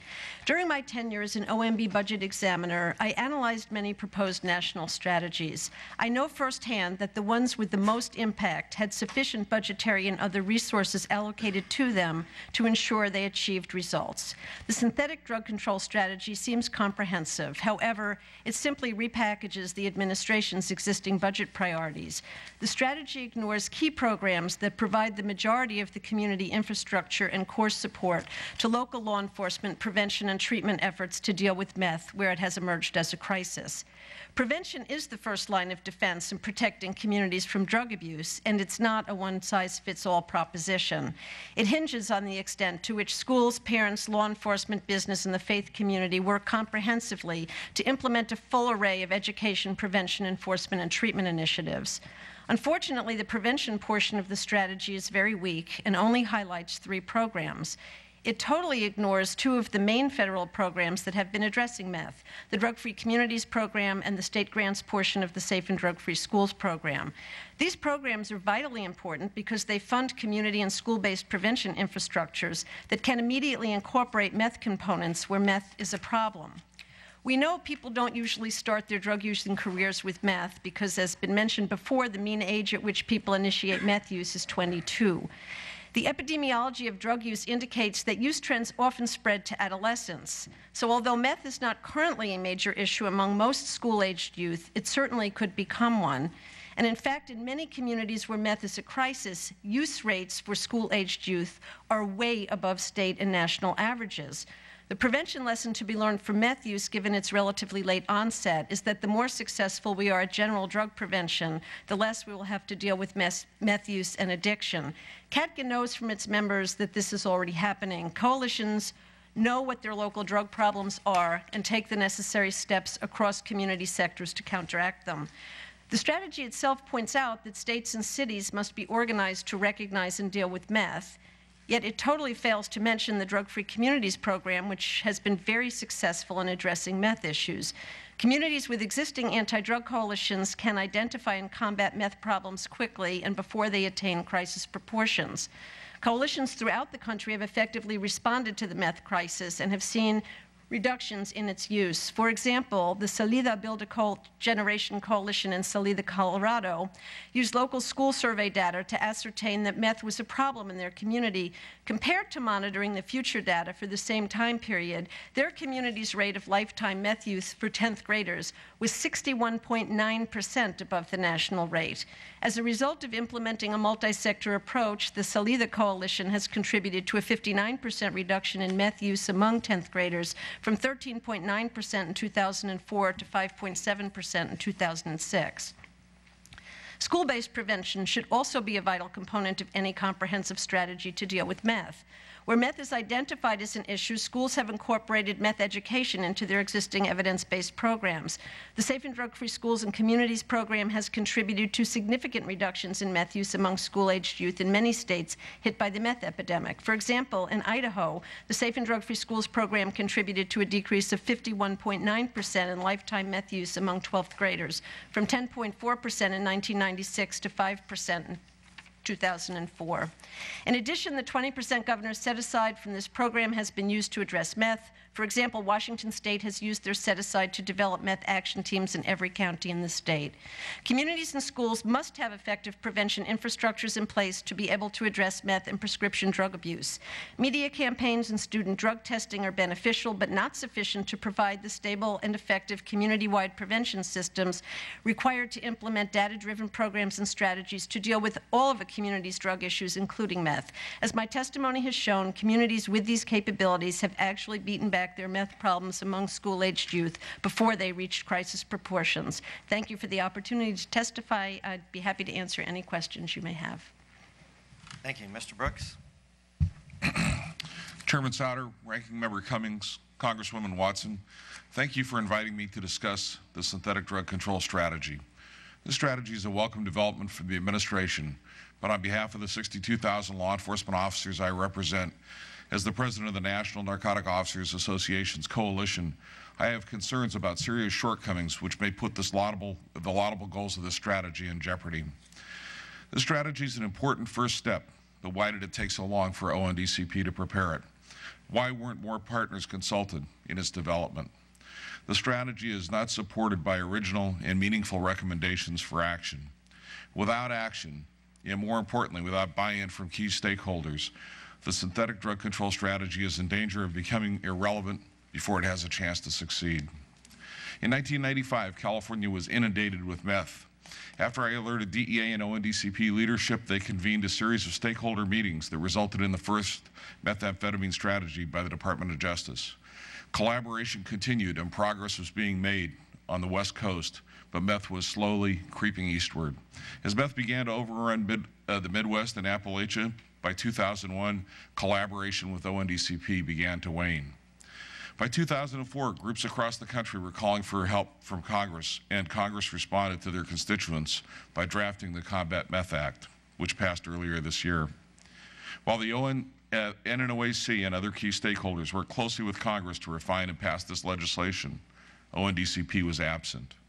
I personally heard compla complaints from staff that they could not get assistance from ONDCP despite repeated attempts to obtain their support. Attorney General Gonzales broke the administration's silence on meth on July 18, 2005, when he said, in terms of uh, damage to children and to our society, meth is now the most dangerous drug in America. Shortly thereafter, an ONDCP spokesperson wrote off the focus on meth by saying that people are crying meth because it's a hot new drug. Of course, people were crying meth, but those of us in law enforcement, treatment, and prevention knew that we were facing a problem that was growing worse by the day. Cops, doctors, treatment providers, DAs, child protective agencies, and community coalitions were being overwhelmed by meth problems in many parts of our nation. They weren't crying meth just to make noise. They were asking for help. ONDCP not only ignored them, they even tried to tell them that they didn't really have a problem. This is inexcusable, Mr. Chairman, and this synthetic drug control strategy continues to reflect ONDCP's disregard for the experience and perspective of the experts on the ground. If the NNOAC had been consulted by ONDCP, we would have made the following recommendations. Support law enforcement task forces that have seized thousands of meth labs by fully funding the Byrne Justice Assistance Grant Program at the currently authorized $1.1 billion level. Fund the COPS Methamphetamines Hotspots Program, which has provided resources to hard-hit areas to train, equip, and mobilize law enforcement resources to address the meth issues. Call on Congress to authorize the Center for Task Force Training at the Bureau of Justice Assistance, which provides much needed training for Drug Task Force commanders and meth investigators. Ensure that the OCDF Fusion Center, Center is coordinated with regional information sharing systems and the HIDTA Intel centers, and ensure that the OCDF Fusion Center follows the guidelines of the National Criminal Intelligence Sharing Plan, which was implemented by the Department of Justice. State and local drug task forces funded through Byrne were responsible for seizing 5,400 meth labs in 2004 alone. How effective is a strategy that establishes lab seizures as a goal and then takes away funding from the Byrne funded task forces that make a large percentage of those seizures? Law less law enforcement equals fewer labs seized. That's not success, it's surrender. The strategy states that the administration will continue to partner with state, county, tribal, and city governments over, over, the next three years to attack the illicit use of methamphetamine.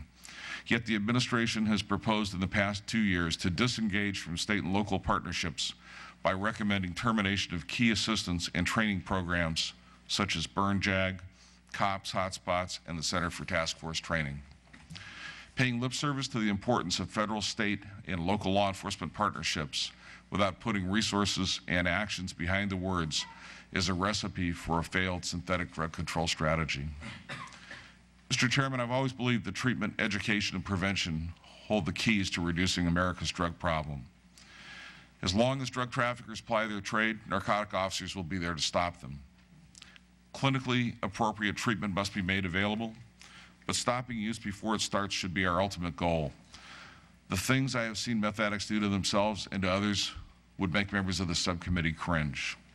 Collectively, we must do all we can to prevent first use, but the synthetic strategy fails to address prevention in a comprehensive way.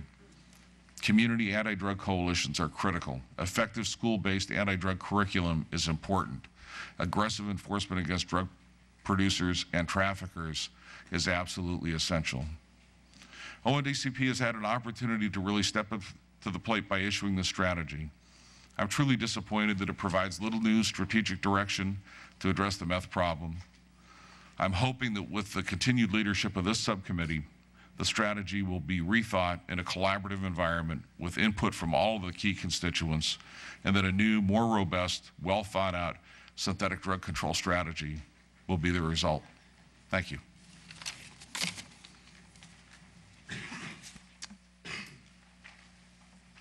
Well, when your panel starts out with the Association of Counties saying, had we been consulted, and finishes with the narcotics officers saying, had we been consulted, uh, you're, you're less uh, impressed with the uh, first panel's assertion that you were consulted. Uh, that, um, let me ask a, a, a, broad question because I'm kind of um, uh, confused that in, in uh, Mr. Burns' testimony, I felt it was very significant that the administration says they don't do strategies by uh, subgroups. In other words, we kind of have a, a, general. I'm trying to figure out from a, uh, a, private business uh, approach uh, that normally what you would have is a, a sweeping national strategy of things that are in common. But I can't hardly imagine that you wouldn't have a sub-strategy that would have two, either in two different ways uh, or different components that relate different ways. So first, why wouldn't you have a cocaine strategy, a heroin strategy, a prescription drug strategy, a meth strategy, a marijuana strategy uh, that would then take into account some fundamental things that we're hearing here. For example, cocaine is not everywhere, but it certainly is concentrated as a major drug and it tends to be more urban. Uh, crack tends to be historically younger, but, but I, I don't know. I mean, we have the intelligence center that does a lot of this kind of stuff, but heroin is a super huge problem in some cities like Seattle historically and less in others to, to varying degree. And then we have it pop up as it did a few years ago in Plano and Orlando or, or different types of things. Oxycontin will, will pop up in different areas. Why wouldn't you have then tailored strategies that fit inside your national strategy as a regular course of doing business? Also, the HIDTAs, uh, in the law enforcement side were meant to kind of be regionalized because some of these problems are regional. So if meth pops up as a, a challenge, you would have uh, HIDTAs that, that dealt with meth. Um, that uh, I, I'm kind of baffled by a principle that says we don't break these out and then work in subgroups. And let me ask one follow-up uh, with this. I thought I made a kind of a, a derogatory comment about conferences. I'm not against conferences, and and uh, uh, I just uh, couldn't believe that that was the primary strategy. On the other hand, Ms. Green, you outlined some of what the purpose of these conferences were, which is hopefully to get very specific on state what's needed at state level, what's needed in coordination. Why wouldn't that be done before you issued a strategy? In other words, isn't that what you would think you would do in as you approach cocaine, as you approach meth, as you approach each of these type of things that there would be regional efforts to pull together the principles and wherever these are problems, you get them together and say, what laws do we have on this? What are you doing at the local level? What more can we done at uh, federal level? What funding sources do you need? Why wouldn't you do what they're proposing to do after they issued the strategy before you develop as a process of developing a strategy? And why wouldn't you be doing this on multiple drugs? Yes. for me to ask yes. the question. I'll go on to the floor and I can take it in writing. But uh, in listening to this panel on the ground, those of you who are on the ground, it occurs to me uh, is there an opportunity to evaluate and assess the various programs that are being described by the administration? You know, do they work? What are the best practices?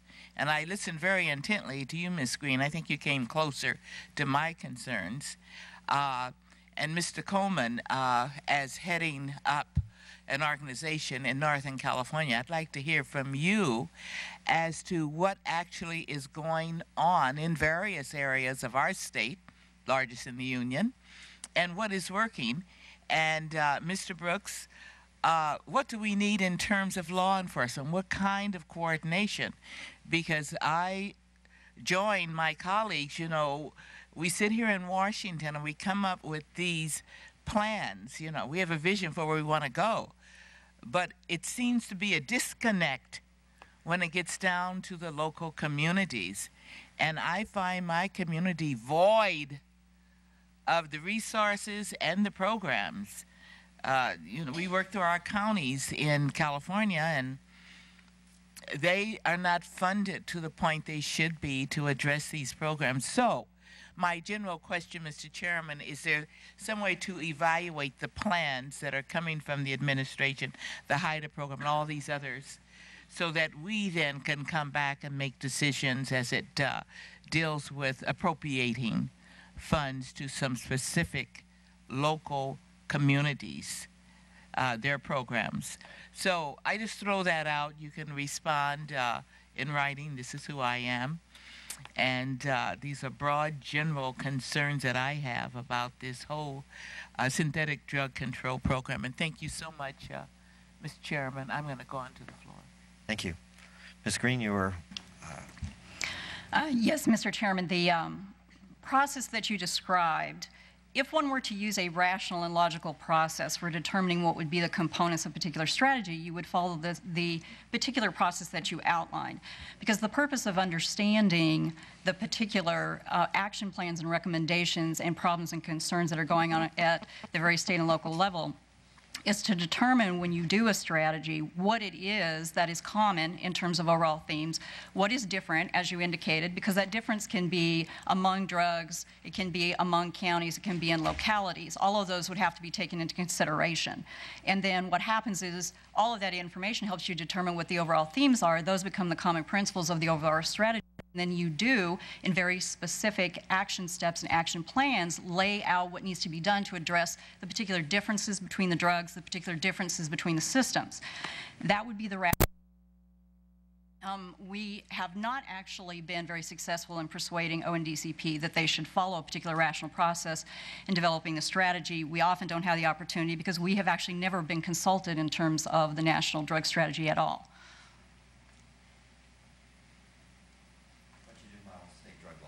We do model state drug laws, and part of our process is actually to assess how these laws are working. Are they working? Are there similarities among the different kinds of laws? Are there different options that can have the same theme but maybe vary based upon the needs of the state? Do states listen to you? Yes, actually. We work with, at any given, Uh, yeah, we work with, at any given time, about 30 different states, and we work with all 50 states on over 40 different drug and alcohol issues. Mr. Cummings wanted to make a Yeah, just very briefly, I want to first of all thank all of you for your uh, testimony. I think it was um, uh, good that you had an opportunity to sit in the audience and hear uh, the folks that came before you. I'm also glad that you had an opportunity to hear amendment on the floor, uh, which said that um, ONDCP should work with and collaborate with uh, folks on the ground. That's incredible. Um, and we're going to continue to do what we can because we realize, again, we're trying to be, we're trying to figure out, I tell people, you know, we don't have but so long to be on this earth. And we don't have time and we don't have time to waste money. And if you all are on the ground and you're facing these, you're dealing with these kinds of things on a daily basis in whatever arenas you may be in, it just makes sense to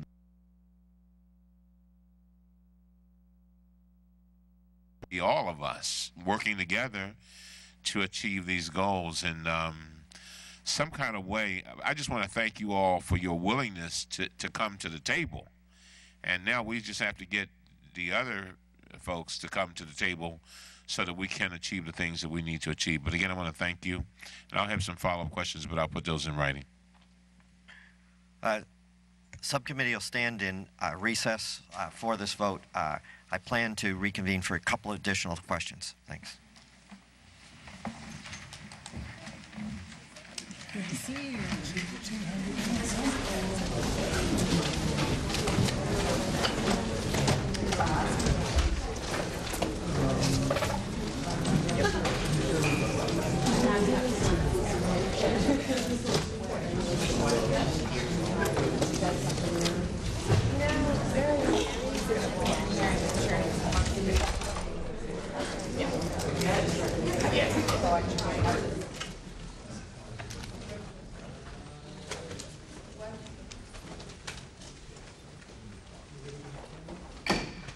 Subcommittee, come come back to order.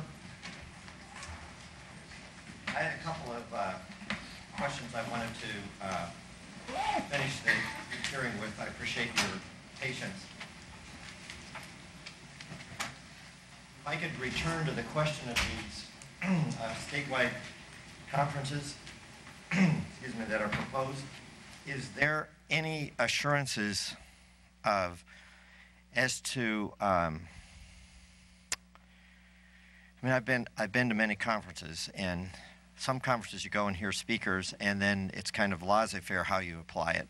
And then other uh, conferences you go, and there at the end of the day, there are resolutions uh, that tend to be almost like us trying to negotiate a bill going to the floor, um, depending on how diverse the group is. And there are other times where it's you have, uh, you know, it's almost like you have to have a pre-conference group that sets out some things that are more specific that can move to an action plan.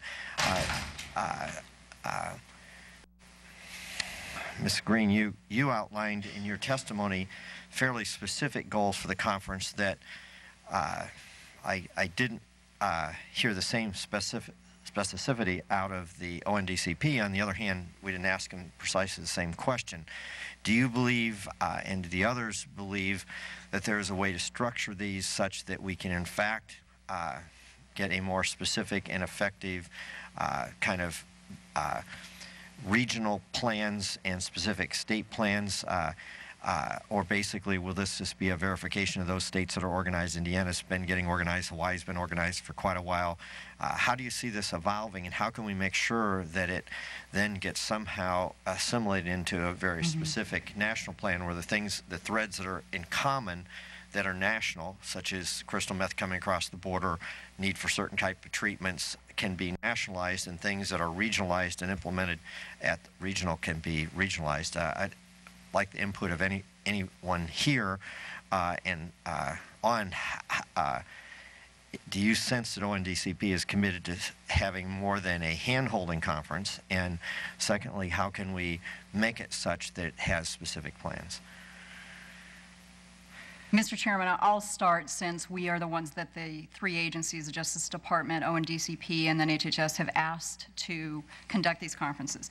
Uh, do I believe there is a way to make these conferences productive and to have them come out with very specific action plans? Yes, uh, precisely because of the very specific process that I outlined. Now, the key to that process, though, is to have those individuals who actually know specifically what is going on, the state and local level, can identify the concerns, can identify what is actually working, can identify particular gaps that they're seeing, and to put that information together. Now, the key to that is that all of the individuals that are on this panel with me are actually going to be involved in those particular conferences. At the same time, we're going to hold four of them in different regions. At the same time, we are working with certain evaluation and certain specialists, such as Dr. Carnevale, who has a specialty in being able to help identify certain common themes and certain um, specific differences that may, for example, apply to one region for example, the southeast region, which is more a preventive mode, as opposed to the western region, uh, which has actually got a great deal of experience on more issues such as clamp remediation of meth labs. So we have a group of state and locals that are going to actually discuss very specific needs, goals, what is happening, what is not happening, what is working, what is not working. They're going to talk to us about the information that they actually have that indicates successes or positive benefits. Some of the type of information that I suggest in my testimony we can't get from the federal level. And then we're going to work again with a group of individuals who um, have a base of experience in looking at that information and being able to help assess what does that mean in terms of similarities, common themes. Now, as to do I believe that ONDCP is committed, my experience is that ONDCP is never committed to action. ONDCP is primarily committed to being able to say what they need to say to try to be able to either checkmark something that they believe that they're committed to do. Uh, but when it comes to me believing that they're actually committed to action, I'd have to say historically I've never actually seen that. Individuals within ONDCP, for example, Scott Burns, yes, I believe he's committed to action, but since he is not the drug czar at this current moment, um, I couldn't tell you that my experience with ONDCP under this particular uh, drug czar's office suggests that they're going to commit to any action. Um, now, one of the things we were doing to offset what I perceive may happen, which may be an attempt to either try to sanitize what comes out of it or somehow the information to inadvertently get lost. Um, my staff and I are actually going to put together the information, work with, as I said, Dr. Carnevale and others to see what it says. We are going to retain that information so that we can disseminate it to all the federal, state, and local policymakers and our partners so that everyone is very clear about what is coming out of these. Mr. Brooks? I- I would have to agree, and I, uh, I want to start by saying that, first of all, they, they did this all backwards. I mean, the conferences should have come before the strategy. In the old days, when we developed the National Drug Control Strategy or the first meth control strategy out of DOJ with DEA and ONDCP, we came together, we had plenary sessions with experts, and then we broke into groups and we developed action plans in really robust, facilitated focus groups that represented all of the key constituencies parents groups, treatment, uh, the, the law, lawyer side of the house, the, the cops, um, uh, everybody. And then we came up with strategies. These were true collaborative strategies where people bought in uh, as real stakeholders, where they had where they had a feeling of ownership and were then able to go out and implement strategies. And had ONDCP done that, which which they haven't, this this administration and ONDCP has never done. Uh, they don't hold key constituent meetings. We have never had focus groups and constituent meetings to develop the national drug control strategy uh, or this strategy or the southwest border strategy Uh, the, the, the newly emerging fentanyl threat is being driven by the HIDTA directors in the Chicago and Philadelphia police departments, uh, not by ONDCP as it should. And, and, let me add by saying that ONDCP, I was, I was cornered in the hallway and they were, they were outraged at my testimony, my written statement, because I, I uh, affirmed that they had not been collaborative. And they said, well, we sent an email to the HIDTA directors. And I said, you know, an, an email without knowing what you're working on or where it is coming from, uh, a, a, simple one email traffic is not a collaborative process. When we sit down with all of the stakeholders, the people in this panel, uh, and, and all of the groups that they represent, that would be a collaborative process. That would have been a strategy that we and you could buy into, um, but, but they didn't do it. Any other comments on that? Mr. Coleman? Do you have a comment, Mr. Coleman? Yes, I do. Um, we think what uh, ON, ONDCP did was put the cart before the horse. They should have had the, the, uh, the meth summits prior to to uh, listen to what was coming out, out of them. Now, the counties will be involved in the summits, in which we're looking at a, a, a regional plan and out of that coming a, a, national plan in which we'll be addressing this problem. But to uh, come out with all these plans without the stakeholders to uh, being involved um, doesn't help, doesn't solve the problem, it only creates a problem. And then when you don't put the money with it, uh, it also creates an additional problem. So we're looking forward to the, the summits. We will be involved in that, and we will come up with a national plan. It's uh, pretty massive when you look at all the different uh, uh, narcotics and you look at all uh, the um, different challenges and the regional variations. But uh, um, that one of the you know one of the things is is uh, with, with meth that was so unusual is is that we could see it coming. And that's what's so exasperating here is now we're kind of uh, uh, maybe at, at least at a flattening, if not a decline, in the mom and pop labs. Uh, but uh, I remember years ago the Asians uh, in our uh, international narcotics uh, legislators, anti-narcotics legislators groups raising synthetic drugs, and the Europeans and the South Americans and the North Americans basically going, well, we, we don't even know really what you're particularly talking about at, at this point. Um, but in Hawaii, they did. So they have a long tracking record in Hawaii, and then it hits our west coast, and it just marches. And that um, uh, in a hearing in Minnesota, I asked if it had uh, been in any of the Native American areas, and they said it's devastating them. And yet that had never come up as a subcategory that that um, uh, what I heard from the uh, U.S. attorney who works with the northern uh, U.S. Uh, Indian nations that it had become a bigger problem than alcohol. Well, that's a pretty extraordinary statement for the, the government not to be uh, aggressively and saying this isn't a national problem. My lands, if it's in the Indian nations. And then there was this mythology that developed that somehow, uh, I literally heard this at two different hearings out of the federal government, more in a speculative as to why this was in rural areas and not urban areas, that somehow African Americans wouldn't be attracted to meth. And then in one, uh, uh, in, in uh, Minneapolis, the uh, police chief there, I believe, said that in one neighborhood, the particular distribution group switched over, and all of a sudden, 20% uh, of the cases in that city were African American because one neighborhood switched over from crack and to, to crystal meth, and it appeared to be more of a distribution question. Well, that's a pretty fundamental misunderstanding in, in, the, in the federal government to not uh, uh, understand the distribution patterns of how, how meth uh, goes. And I'm just, uh, Dr. Gallant, I saw you were going to add something here too in these conferences, but I'm wondering whether um, uh, what kind of early warning system we have uh, for future things uh, when uh, the we talk about Chicago, Philadelphia. Some of these things pop up and you can get them down quick enough, but this one was like a train that's been rolling for over a decade. Well, in terms of early warning, I think one of the things that uh, our federal partners, particularly SAMHSA, can do is to put into place early warning systems that are current.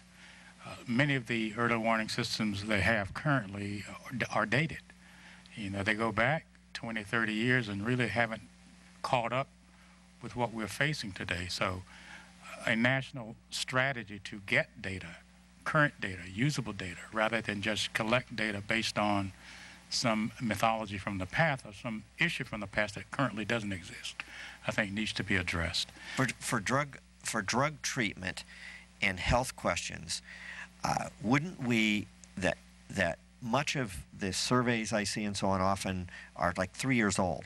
They'll be 2001, 2002, 2003, and you're in 2006 trying to make legislative funding priorities. Um, and that's helpful because that data will be more comprehensive, plus we have trend lines on, on some of that. Right. But why wouldn't that, in a logical way, be supplemented with, with almost in the days of, of internet, instantaneous data on um, uh, emergency room, uh, drug court, uh, th- which are two frontline groups. Another would be uh, what we're picking up on the border on a daily basis. In other words, uh, that it's, it's not like we're not accounting for this when the uh, Department of Homeland Security picks this up. If, if, our, if our suppositions are correct, and that after certain states in the Southwest started to enact pseudoephedrine law, we should have seen if crystal meth's coming in the United States, and if in fact uh, 67 to 80 percent of meth is um, uh, crystal meth, and if it's coming across the Southwest border, and if we're actually intercepting anything, which is debatable, but but if we are intercepting things, uh, we should have seen a bump up, and it should have been almost instantaneous data. That when a policeman makes arrest on the street, um, that data gets fed into to EPIC. Uh, it, it's like, why can't you have kind of an ongoing, kind of daily tracking, which presumably some uh, drug intelligence center and EPIC do, but it doesn't seem to get to us. What we tend to get in our hearings are historical data. Any comments on whether you see more contemporary things than we see here? Well, I think, um, again, the, the issue, the fentanyl issue is a great example.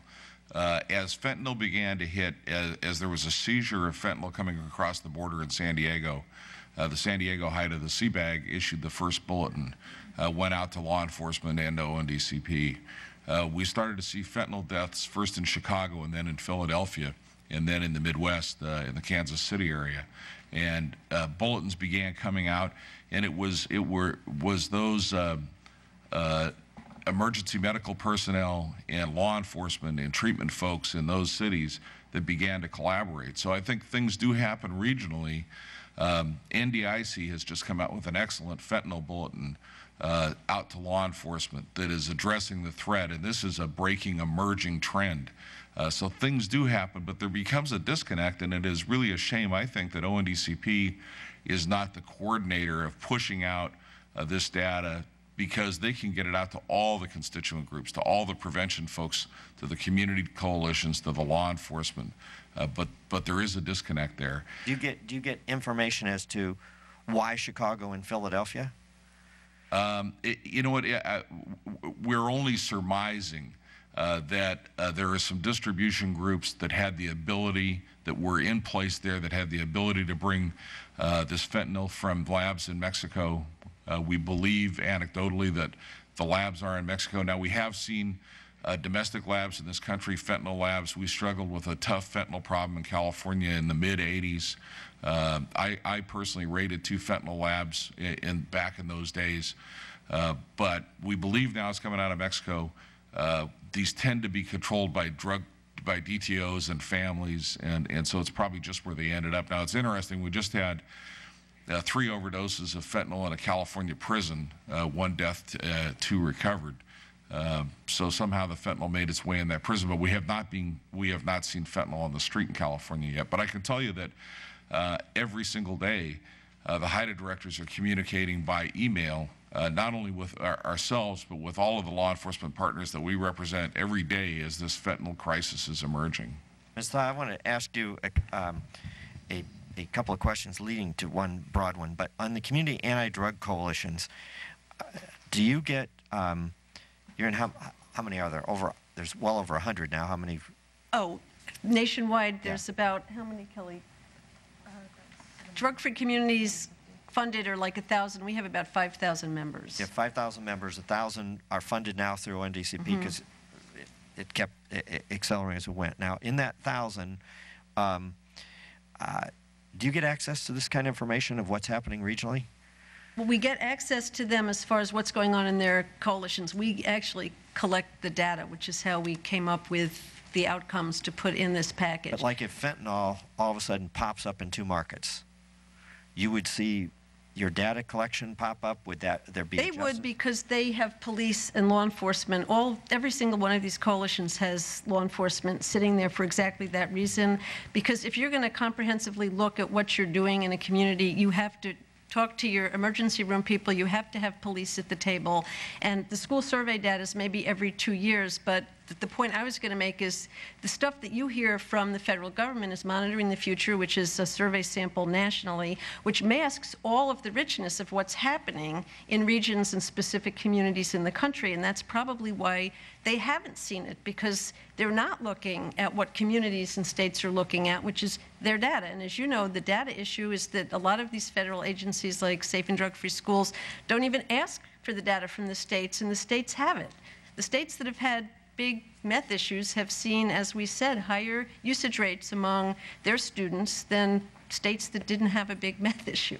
So the states and the communities get it, but it's never aggregated up to the point that it comes to you, other than these national samples that mask all of the variation in local and regional data. In the community anti-drug uh, uh, initiative, um, uh, you're not limited just to youth. No. Um, the uh, one of the things that came up in the national ad campaign as we addressed meth, and in your testimony, you showed kind of the introductory process of uh, alcohol, tobacco, marijuana, cocaine, and and how the age how the process ages. Our national ad campaign is is geared towards uh, youth. The theory was is that if we tackle kind of right at the current time it's marijuana, everything else will be controlled. Um, how do we do a post analysis to say um, uh, that strategy failed? In other words, it that it's hard to say how much it failed because, in fact, marijuana use was going down, yet a methamphetamine epidemic would hit a community and wipe it out, regardless of whether the kids had gone through safe and drug-free schools, had the other things, uh, uh, or not. And yet, our ad campaign was just focused on below 18. We suddenly have a problem that's devastating our local drug task forces. Uh, our hospitals, everything, uh, drug courts, everything else are overwhelmed when it hit a market. And yet we say, well, we addressed this back when they were 16. Um, how, do you have any thoughts on, on whether or not our policy in many areas in, in prevention, drug free schools would be one example, and a national youth ad campaign, doesn't really uh, tackle the the richness of this assumption. I've asked these questions for years because I have a theory that the reason we went to youth campaigns was not just to prevent it at an early age, is because it's easier to get kids to agree than it is to get adults to agree. And that it was the ease of having the kids go, yes, I think drugs are terrible, and then we move it down farther because it, uh, and yet the tough ages are junior high and into high school, and it gets even tougher when you're dealing with somebody on an assembly line, a woman is trying to lose weight, and they want to use methamphetamine. Uh, they don't necessarily remember back in fifth grade. Uh, how, how do we, any thoughts on, on, Mhm. on, on this subject? Yes. We, and, and for example, why weren't the community anti-drug coalitions just oriented towards youth? If this whole thing could be solved if we addressed youth, you obviously, when you work with the development of this program, wanted to go beyond youth. Well, ONDCP, it's focused on youth, however, it's community-wide. And what we know is that drug trends do start in using populations, but then they go down, like ecstasy started in an older population and ended up in high school kids. Part of the issue is what you said before about how do you do a strategy. One, do you need basic prevention for everybody? Yeah. Do you need then to hit specifically specific drugs within that? You do. You can do the base prevention, but if we know that risk, perception of risk and social disapproval for specific drugs is what drives the trends on those, you can't just think that general drug prevention that is going is going to totally do it. You have to build into it components for the emerging drug trends as they're coming up, and you have to be very cognizant of what age groups are using what substances. Any other thoughts on this? Uh, uh, the um, do you do you see? I, I wanted to touch one, on one other point with with treatment and uh, Dr. Gallant, uh, and we've heard multiple witnesses, and including in my opening statement, say that the mythology developed that meth. Uh, uh, there wasn't really a good treatment for meth. Part of the way this mythology developed, quite frankly, because sometimes we hold up that the grassroots is, is all knowing.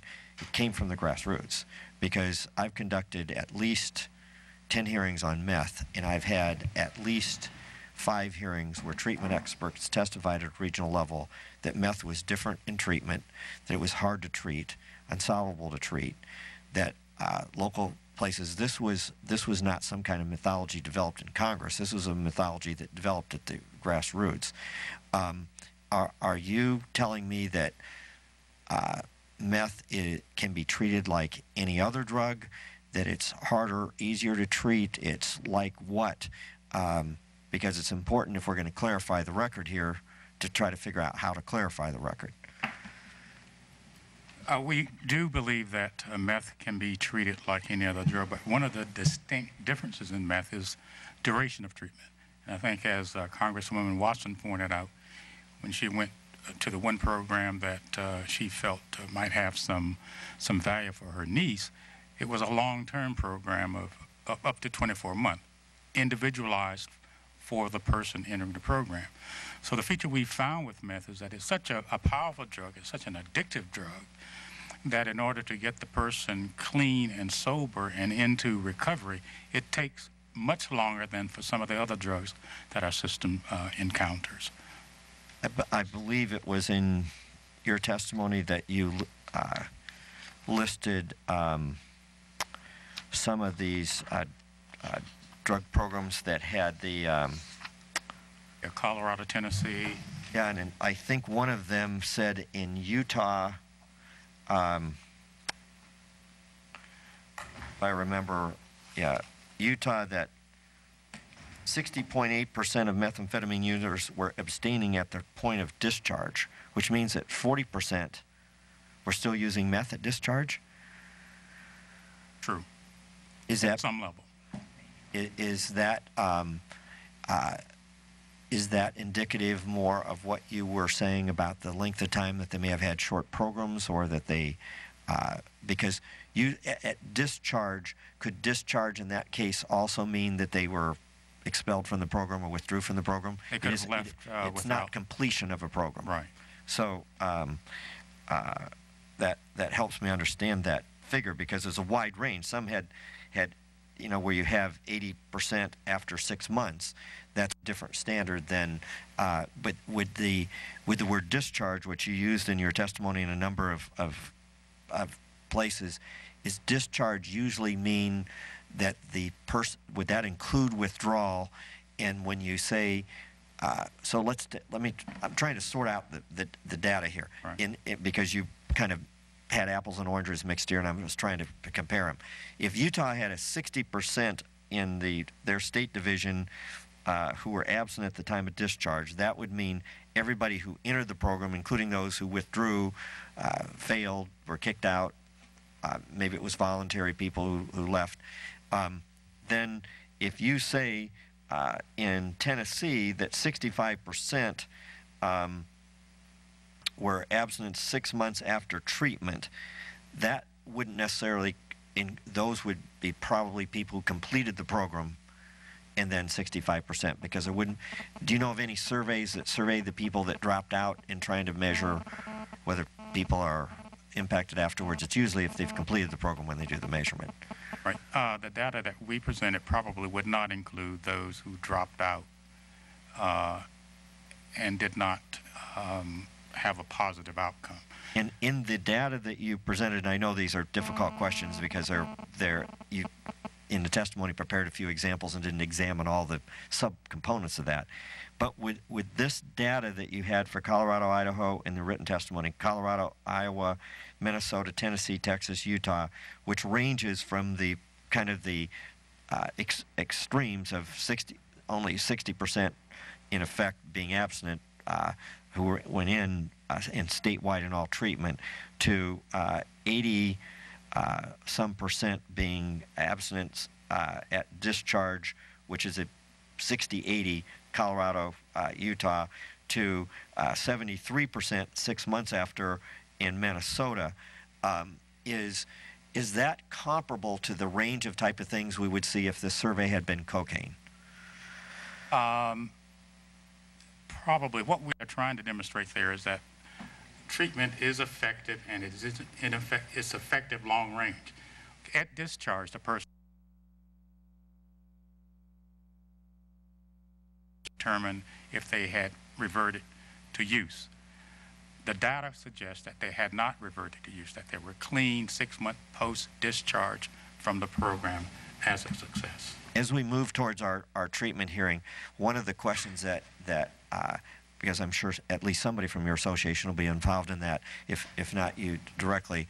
Um, could you look and see how this data that you ha- have been collecting on meth, how that compares to other drugs, and if it's substantially different, meaning substantially variation, minimum 5%, uh, uh, 10% would be be pretty significant. If it's if it's uh, by 10% different, I mean an actual 10% range. That'd be more like 15% actual over the top. If it's significantly uh, uh, different, because we know there's going to be differences, just because we've, we're, it, it's newer, and some states we're farther along, some states are more rural than urban. Uh, uh, what they pay their treatment people. I understand all the variations. That's why a normal statistical difference might be five. I'm looking for a lot more than five. If there are statistical differences in meth uh, effectiveness uh, from cocaine, heroin, marijuana, other drugs. Uh, then, secondly, whether that gap has closed uh, in the last few years, uh, because SAMHSA has been looking at um, doing more directed meth treatment. And then, if it if it there is a gap and it's not closing, is part of what I suggested earlier part of this problem that rural uh, treatment facilities do not, uh, where many of the meth addicts are, uh, are, are, not there. And it, in fact, it isn't a treatment question. It's that the longer term, higher professional, more expensive treatment is not available in the areas where the meth is. Because if in fact it's the same, then my premise that there was a difference in rural health care from urban health care wouldn't really be there. In other words, if, if in fact you're finding right now that meth treatment is just as effective uh, as cocaine treatment, then we don't really need to look at whether we need special programs in rural meth treatment because in fact it's working as well as everything else. If there's a gap, then we need to figure out whether we need to do something particularly for meth. And that's going to be one of the main focuses of our hearing what what unique challenges are there because if the data is, is good that's where you go look you don't need to customize every strategy. Right. if if there are certain basic principles that work uh, if length of time is the major variable if it's if it's uh, training of the individual. Now we've we've had a lot of testimony particularly at, from grassroots providers that meth seizes the body differently uh, and that it has different impact on the brain. Do you agree with that? I would agree with that. And uh, so that's why the treatment would be longer? Well, again, uh, I think the addictive properties of meth are such that it, you know, just sort of wraps the person up in order to get the person clean takes a longer length of stay than you might find with other drugs.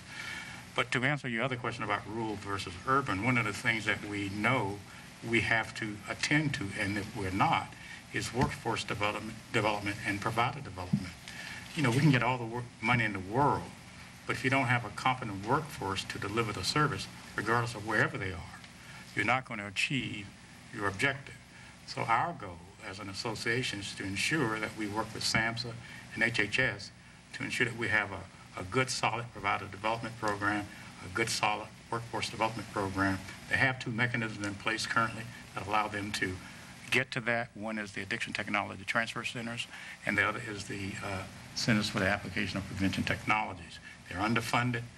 Uh, they need, you know, it, it, you know, I think the ATTs are funded at about $11 million. That's not a good workforce strategy. You can't adequately cover the country with a workforce strategy involving 11 million bucks. So our goal is to look at getting more competent workforce in place, having a variety of mechanisms to do that. Uh, you know, not only through conferences, but basic education, community colleges, uh, secondary, you know, uh, universities, graduate school programs to help folk who want to enter this field get into it and get the skill sets they need to be competent in their work. And then for providers, providers sometimes get into this business thinking that they want to do good, but don't have the ability to run a business. So we need to help them understand how you run a business, how you access funding, how you write a grant, how you hire people, and how you manage a facility. Those, those are basic tenets of trying to run a good business, and that's one thing that our system currently does not pay a lot of attention to. Let me uh, uh, finish with a uh, series of questions around this uh, subject, because having worked with this for a long time, it, it, it's really reared its head in the meth question, and that is, is that how do you deal with the different intensity of impacts of some drugs versus other drugs, and the um, and even within that drug, a disproportionate impact from one type of that drug versus the other. So let me give you let me relate this particularly. Part of the reason the politics of this are different, and it isn't the politics just at the federal level, there's no question that the most important, significant thing in moving us to a national meth strategy was the National Association of Counties survey.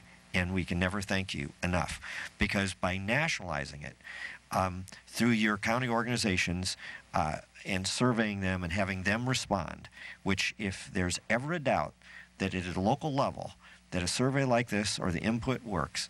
This one did because we constantly heard it was a regional question. It's a regional question. Yeah, but you know what? If you add up every region, it's a national question. The only place that wasn't there really was New England, and now we're learning that Florida has much more of a problem than they thought that they had, and, and they were supposedly in the southeast didn't have much, uh, but as it's rolling around, we find out, well, they did. They just weren't paying as much of it. Uh, it wasn't as big a focus. Because part of the difference here was the mom and pop labs uh, so devastated our drug infrastructure that the impact of the narcotic became, you know, we would have a, a, regional hearing, and I could see the crowd get restless every time DEA said the basic same testimony that two thirds, which is now they say 80%, is crystal meth. And the local community get all restless. First off, the they wouldn't necessarily see the crystal meth as much, but the, the mom and pop, the Nazi lab type things, would would tie up your local drug force so that you couldn't even find out whether you had crystal meth. You couldn't find out whether you had crack. You couldn't find out whether you had marijuana because your drug task force in one of my counties was sitting there six, eight hours at a house so they couldn't pick up anybody else. And, and so it had a disproportionate impact on our ability of our drug task forces to, to work that we would go into a community in uh, Ramsey County is one that sticks out, but I know uh, Lee Terry told me similar things happen in Omaha. We heard similar testimony in in uh, Oregon that when meth would hit a community in the mom and pop labs, which would tend to be picked up first because local law enforcement can't let these idiots explode the buildings in their towns, blow up uh, kids in the house, and so on uh, get ammonia and everything else uh, into the, the water in the community. So that obviously had to be a takedown.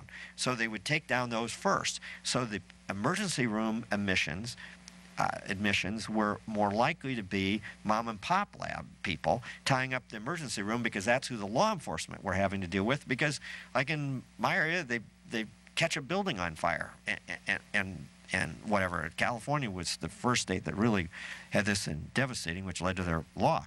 Now, that disproportionate impact, we'd heard in Ramsey County, then the next thing is that they went from a standing start to six months, 80% of the kids in child custody were meth users. From zero to 80% in six months, which meant that the child custody uh, program was overwhelmed because when you got some idiot cooker in this uh, in their ho- home uh, with little kids present. You can't leave the little kids in there. Uh, that uh, so they're going to wind up in child custody. So all of a sudden, kids who are in child abuse homes, uh, conventional child abuse, don't have a place to go because 80% of your people uh, are being taken up with urgent meth cases. That um, we heard in drug courts in different cities, drug courts would go from 10 or 20% to all of a sudden 80%. Elkhart County in my district, the county, the jail went from nothing to 90% being meth users, which meant that he couldn't, they, you can talk all you want about marijuana laws, but you can't arrest anybody for, mar for marijuana if your jail's full. Uh, you don't have any place to put them. I mean, you can give them a ticket or something, but you don't have any place to put them. You don't have any place to put uh, people who stole a car uh, because your jail's full of meth users. Now, my question is, is do we have an adequate way in our system to measure um, in our targeting that if something kind of rips the guts out of the system, uh, what's the point of us funding diverse drug task force if one drug is wiping out the drug task forces, uh, if it's hitting the emergency rooms, if it's hitting the drug courts. And part of the political frustration here is the politicians understood that because if you're a county commissioner, you got to figure out how to pay for it. Uh, that the, the police, the narcotics officers were under this because they were standing at a house waiting for DEA or EPA to come over uh, forever to get there. And yet the political system was saying, well, it's only 4%. Who gives a rip if it's 4%? It's wiping out your budget. Uh, and, and that, uh, uh, how do you suggest that we kind of incorporate into our national drug strategies intensity? Because that's really what we're talking about here, and that's why, should there be a measure that uh, emergency, that, that I just gave you a series of variables that potentially could do that, but that seems to be some of what we're fencing around here is because when they unveiled the meth strategy, they came to the meth caucus, and told the meth caucus that problem's kind of under control, it's declining, and so on. And it's like, where? Um, uh, it, it's certainly, even in my district, they'll say it's declining. Now, instead of being 30% over budget on overtime, they're 10% over budget on overtime. I, instead of having 60 labs, they have 40 labs. Instead of not being able to get to all the meth people, they're now able to get to maybe 60% of it. But still, in, in Allen County, my home, which had had very little, uh, and in, in multiple other counties, we're getting, and this comes to the treatment question, that uh, well, in Noble County, that, that the prosecutor said he had one guy, he was up the third time, and he was still hadn't been sentenced by the judge for the first time. Now, there's th this is what's driving the locals crazy. And when anybody who watches this saying, "Oh well, meth seems to be getting under control," it's uh, it's not measuring the intensity of the impact that this having on the child support system, on the local law enforcement system, on the jail capacity, uh, and, and that that even if this declines 15 percent, 15 percent doesn't alleviate the pressure uh, uh, unless the 15 percent or 25%, I guess it was for mom and pop labs. I'm not sure 25% alleviates the pressure. It may be that, that we have to go 50% on the mom and pop labs to, because if there's not an intensity measure here, it's just some kind of number we picked out of the sky. And I'm, I'm, i want to get your reaction to that. I, I, know you basically agree with that, but as you go into these conferences, one of the questions is, is how do you pick up intensity? The, the fentanyl is an example. I mean, all of a sudden, a whole bunch of deaths. My lands, that's as many deaths it, but from one drug that nobody ever heard of, that then you'll have in a, in a city with all the other drugs combined for that same period. How do you measure intensity and how do we factor that into our planning? Well, I think one way we could do it to, is to um, work with SAMHSA and HHS to develop a national data system to collect data regarding uh, use uh, intensity of use and so forth. Right now, the block grant monies that come to states, we do provide client level data, but that's the only federal money that comes to states that require client level data. So you have a whole another set of uh, dollars coming out of the Justice Department, coming out of other agencies that don't collect or don't provide the single state authority data that they then can roll up to SAMHSA to give a national picture of use. So one of the recommendations I would have is that anyone receiving federal dollars should be required to link with the SSA to ensure that that SSA is collecting client level data so we can get a whole picture of what's going on nationally regarding use. Uh, the other piece uh, that I think uh, would be good is to have data flow up. And the National Household Data Survey, I think, as pointed out by uh, Sue Thau, really doesn't really give you uh, sub-state level, level indications of, of use. It gives you a national picture, but it doesn't allow you to say what's going on in the bowels of Iowa, what's going on in the counties of Indiana or the cities of Indiana. Uh, that can only be done by developing a system that allows state to take a, a real good snapshot of what's going on within their localities and then feed that data up to our federal partners to get a national picture. Yeah, because in Indiana, for example, I think we were fifth in labs, but really less than 20% uh, of the state uh, is impacted by meth labs. And in my own district, I have uh, uh, three of the major counties, and then I have two counties that don't have a single one, basically, or, or minimal, even in the same geographical area.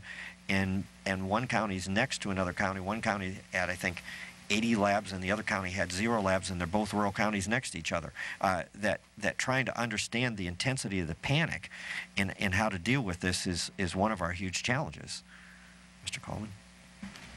We agree with your statements, Mr. Chairman. We don't have uh, the answers um, in, in the numbers that you're looking uh, for, but we would be willing to work with you. We do know one thing. It is affecting county budgets across this country untold. The amount of uh, cases being heard in the drug courts is phenomenal. From one year to the next, it seems to be doubling and tripling. Yet we're all looking for these answers, and, and we hope by working together as a collective group, we can come up with these answers and start addressing this problem immediately, not in 2011. And, it, and it's a challenge uh, that uh, not just meth. I was trying to address it as we look in the overall uh, drug strategy because, as, as you'll well uh, know that um, in the early 80s, crack is still a huge, and cocaine still is the biggest problem in my biggest city, uh, Fort Wayne, which is not that far from Detroit. And um, there was at one point where we were very high in, in uh, the number of crack houses, and crack was devastating the, the city of, of Fort Wayne.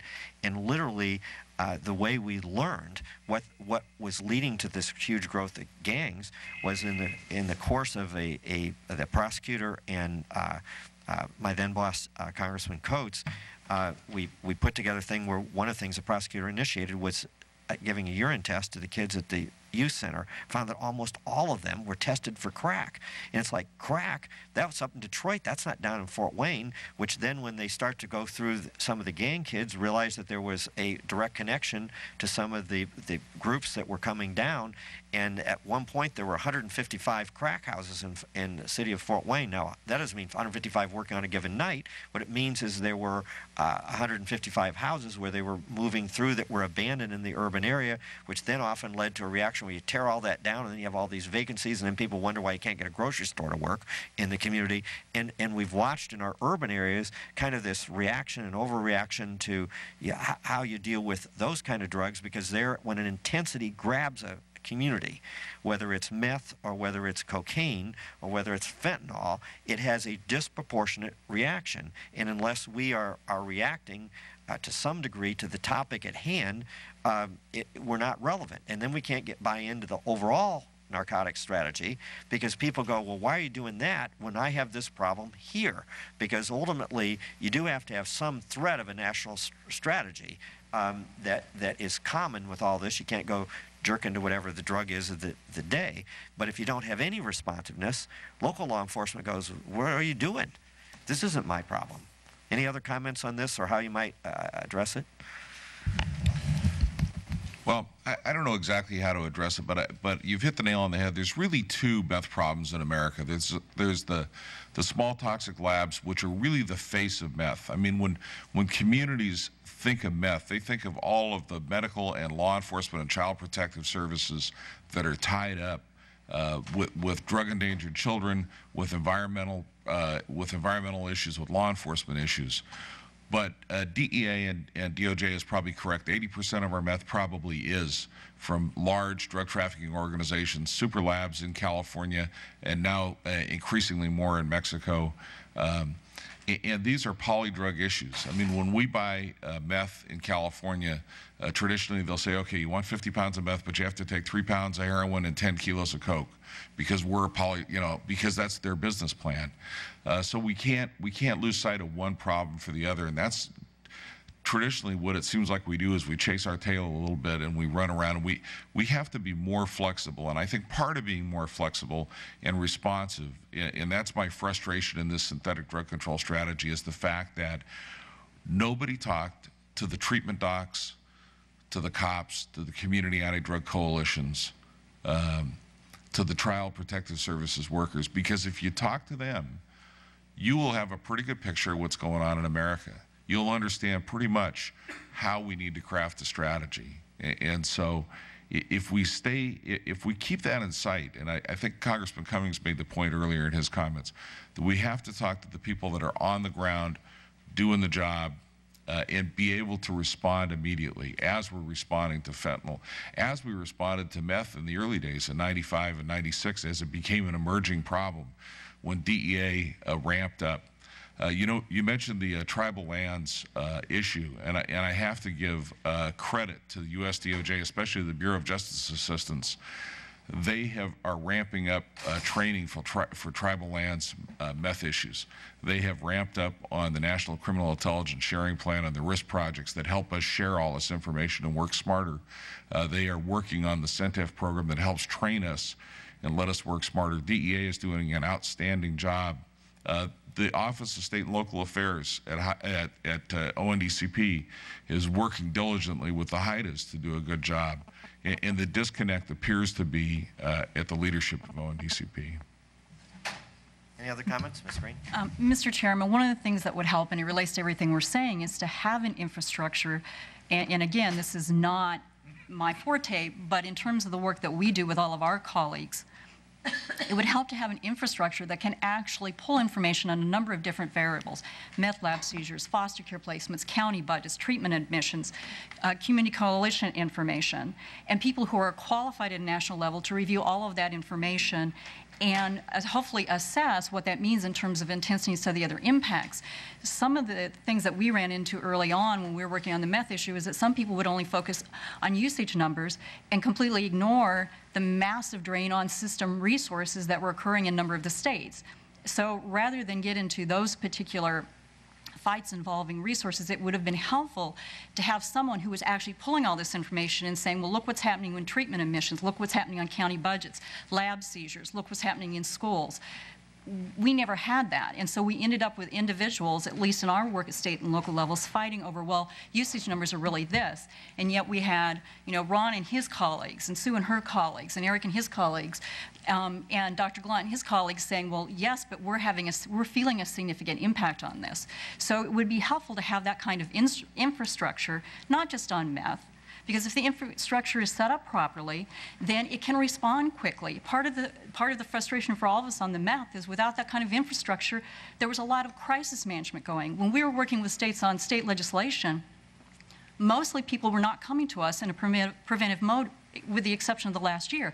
They were coming to us in a crisis mode saying, we've got 1,400 labs, we've got to do something if there had been a proper infrastructure in place to do the kind of early warning that you're suggesting, somebody would have known in advance, wait a minute, it's impacting law enforcement, foster care placements, county budgets, treatment admissions, communities and schools. None of us had that information available to us. We didn't have anybody saying that to us. It was because we all decided to coordinate with each other and say, well, what are you seeing? What are you seeing? What are you seeing? What are you seeing? That's how we figured it out. And one of the frustrations for us is that early on, when we were trying to work with state and local legislatures, part of who was just looking at usage numbers saying, well, you know, really this isn't a problem, is ONDCP. I thank you all for your, your comments. One of the uh, things that, uh, I mean, because ultimately this is what ONDCP is supposed to be doing. Uh, and the question is, is that why aren't they? Is it structural or is it individual or is it both? To the degree it's structural, um, we passed our House version, the Senate is moving it, but as we move to conference, maybe we can look at is there a way to build in a uh, structural way uh, to get the kind of input into the ONDCP reauthorization? Individuals change, the structure uh, uh outlasts the individuals, and we need to uh, look at uh, how to how to work some of these big questions uh, through as we're working the HIDTAs, as we're working the community anti-drug coalitions. But then part of it is is that we've got things in multiple agencies. DOJ, uh, Safe and Drug-Free Schools is over in education, treatments in HHS, uh, and how that was why we created drug czar's office. Uh, was to try to at least influence and coordinate the information uh, as these things are in, in multiple agencies. Uh, it has been pretty frustrating to me that uh, Department of Justice clearly has been involved in meth longer uh, and at the grassroots, and yet members of Congress um, basically, and I don't know how many hearings I had, it was like, why wouldn't the administration just come out and say that they were involved? It was like pulling teeth, and I think part of it is is that I'm not even sure the Department of Justice was aware at the grassroots how involved their local DEA agents were in the task forces, how involved their their what exactly was being done with their grants. They were anti-drug grants, and then in the communities when they started dealing with it, it was meth, and the information was just seeping back to Washington that they were up to their eyeballs in meth, and they didn't know it. But what it meant was we didn't have any cohesion mm-hmm. to trying to address what was overwhelming at, at the grassroots. And I think uh, your input here has been helpful. We appreciate that. We'll have this continuing uh, dialogue. Uh, uh we have a couple more field hearings coming up uh, yet this uh, summer. And um, thank you once again. Anybody have any closing comment you would like to make? Then with that, the subcommittee stands adjourned. Drops.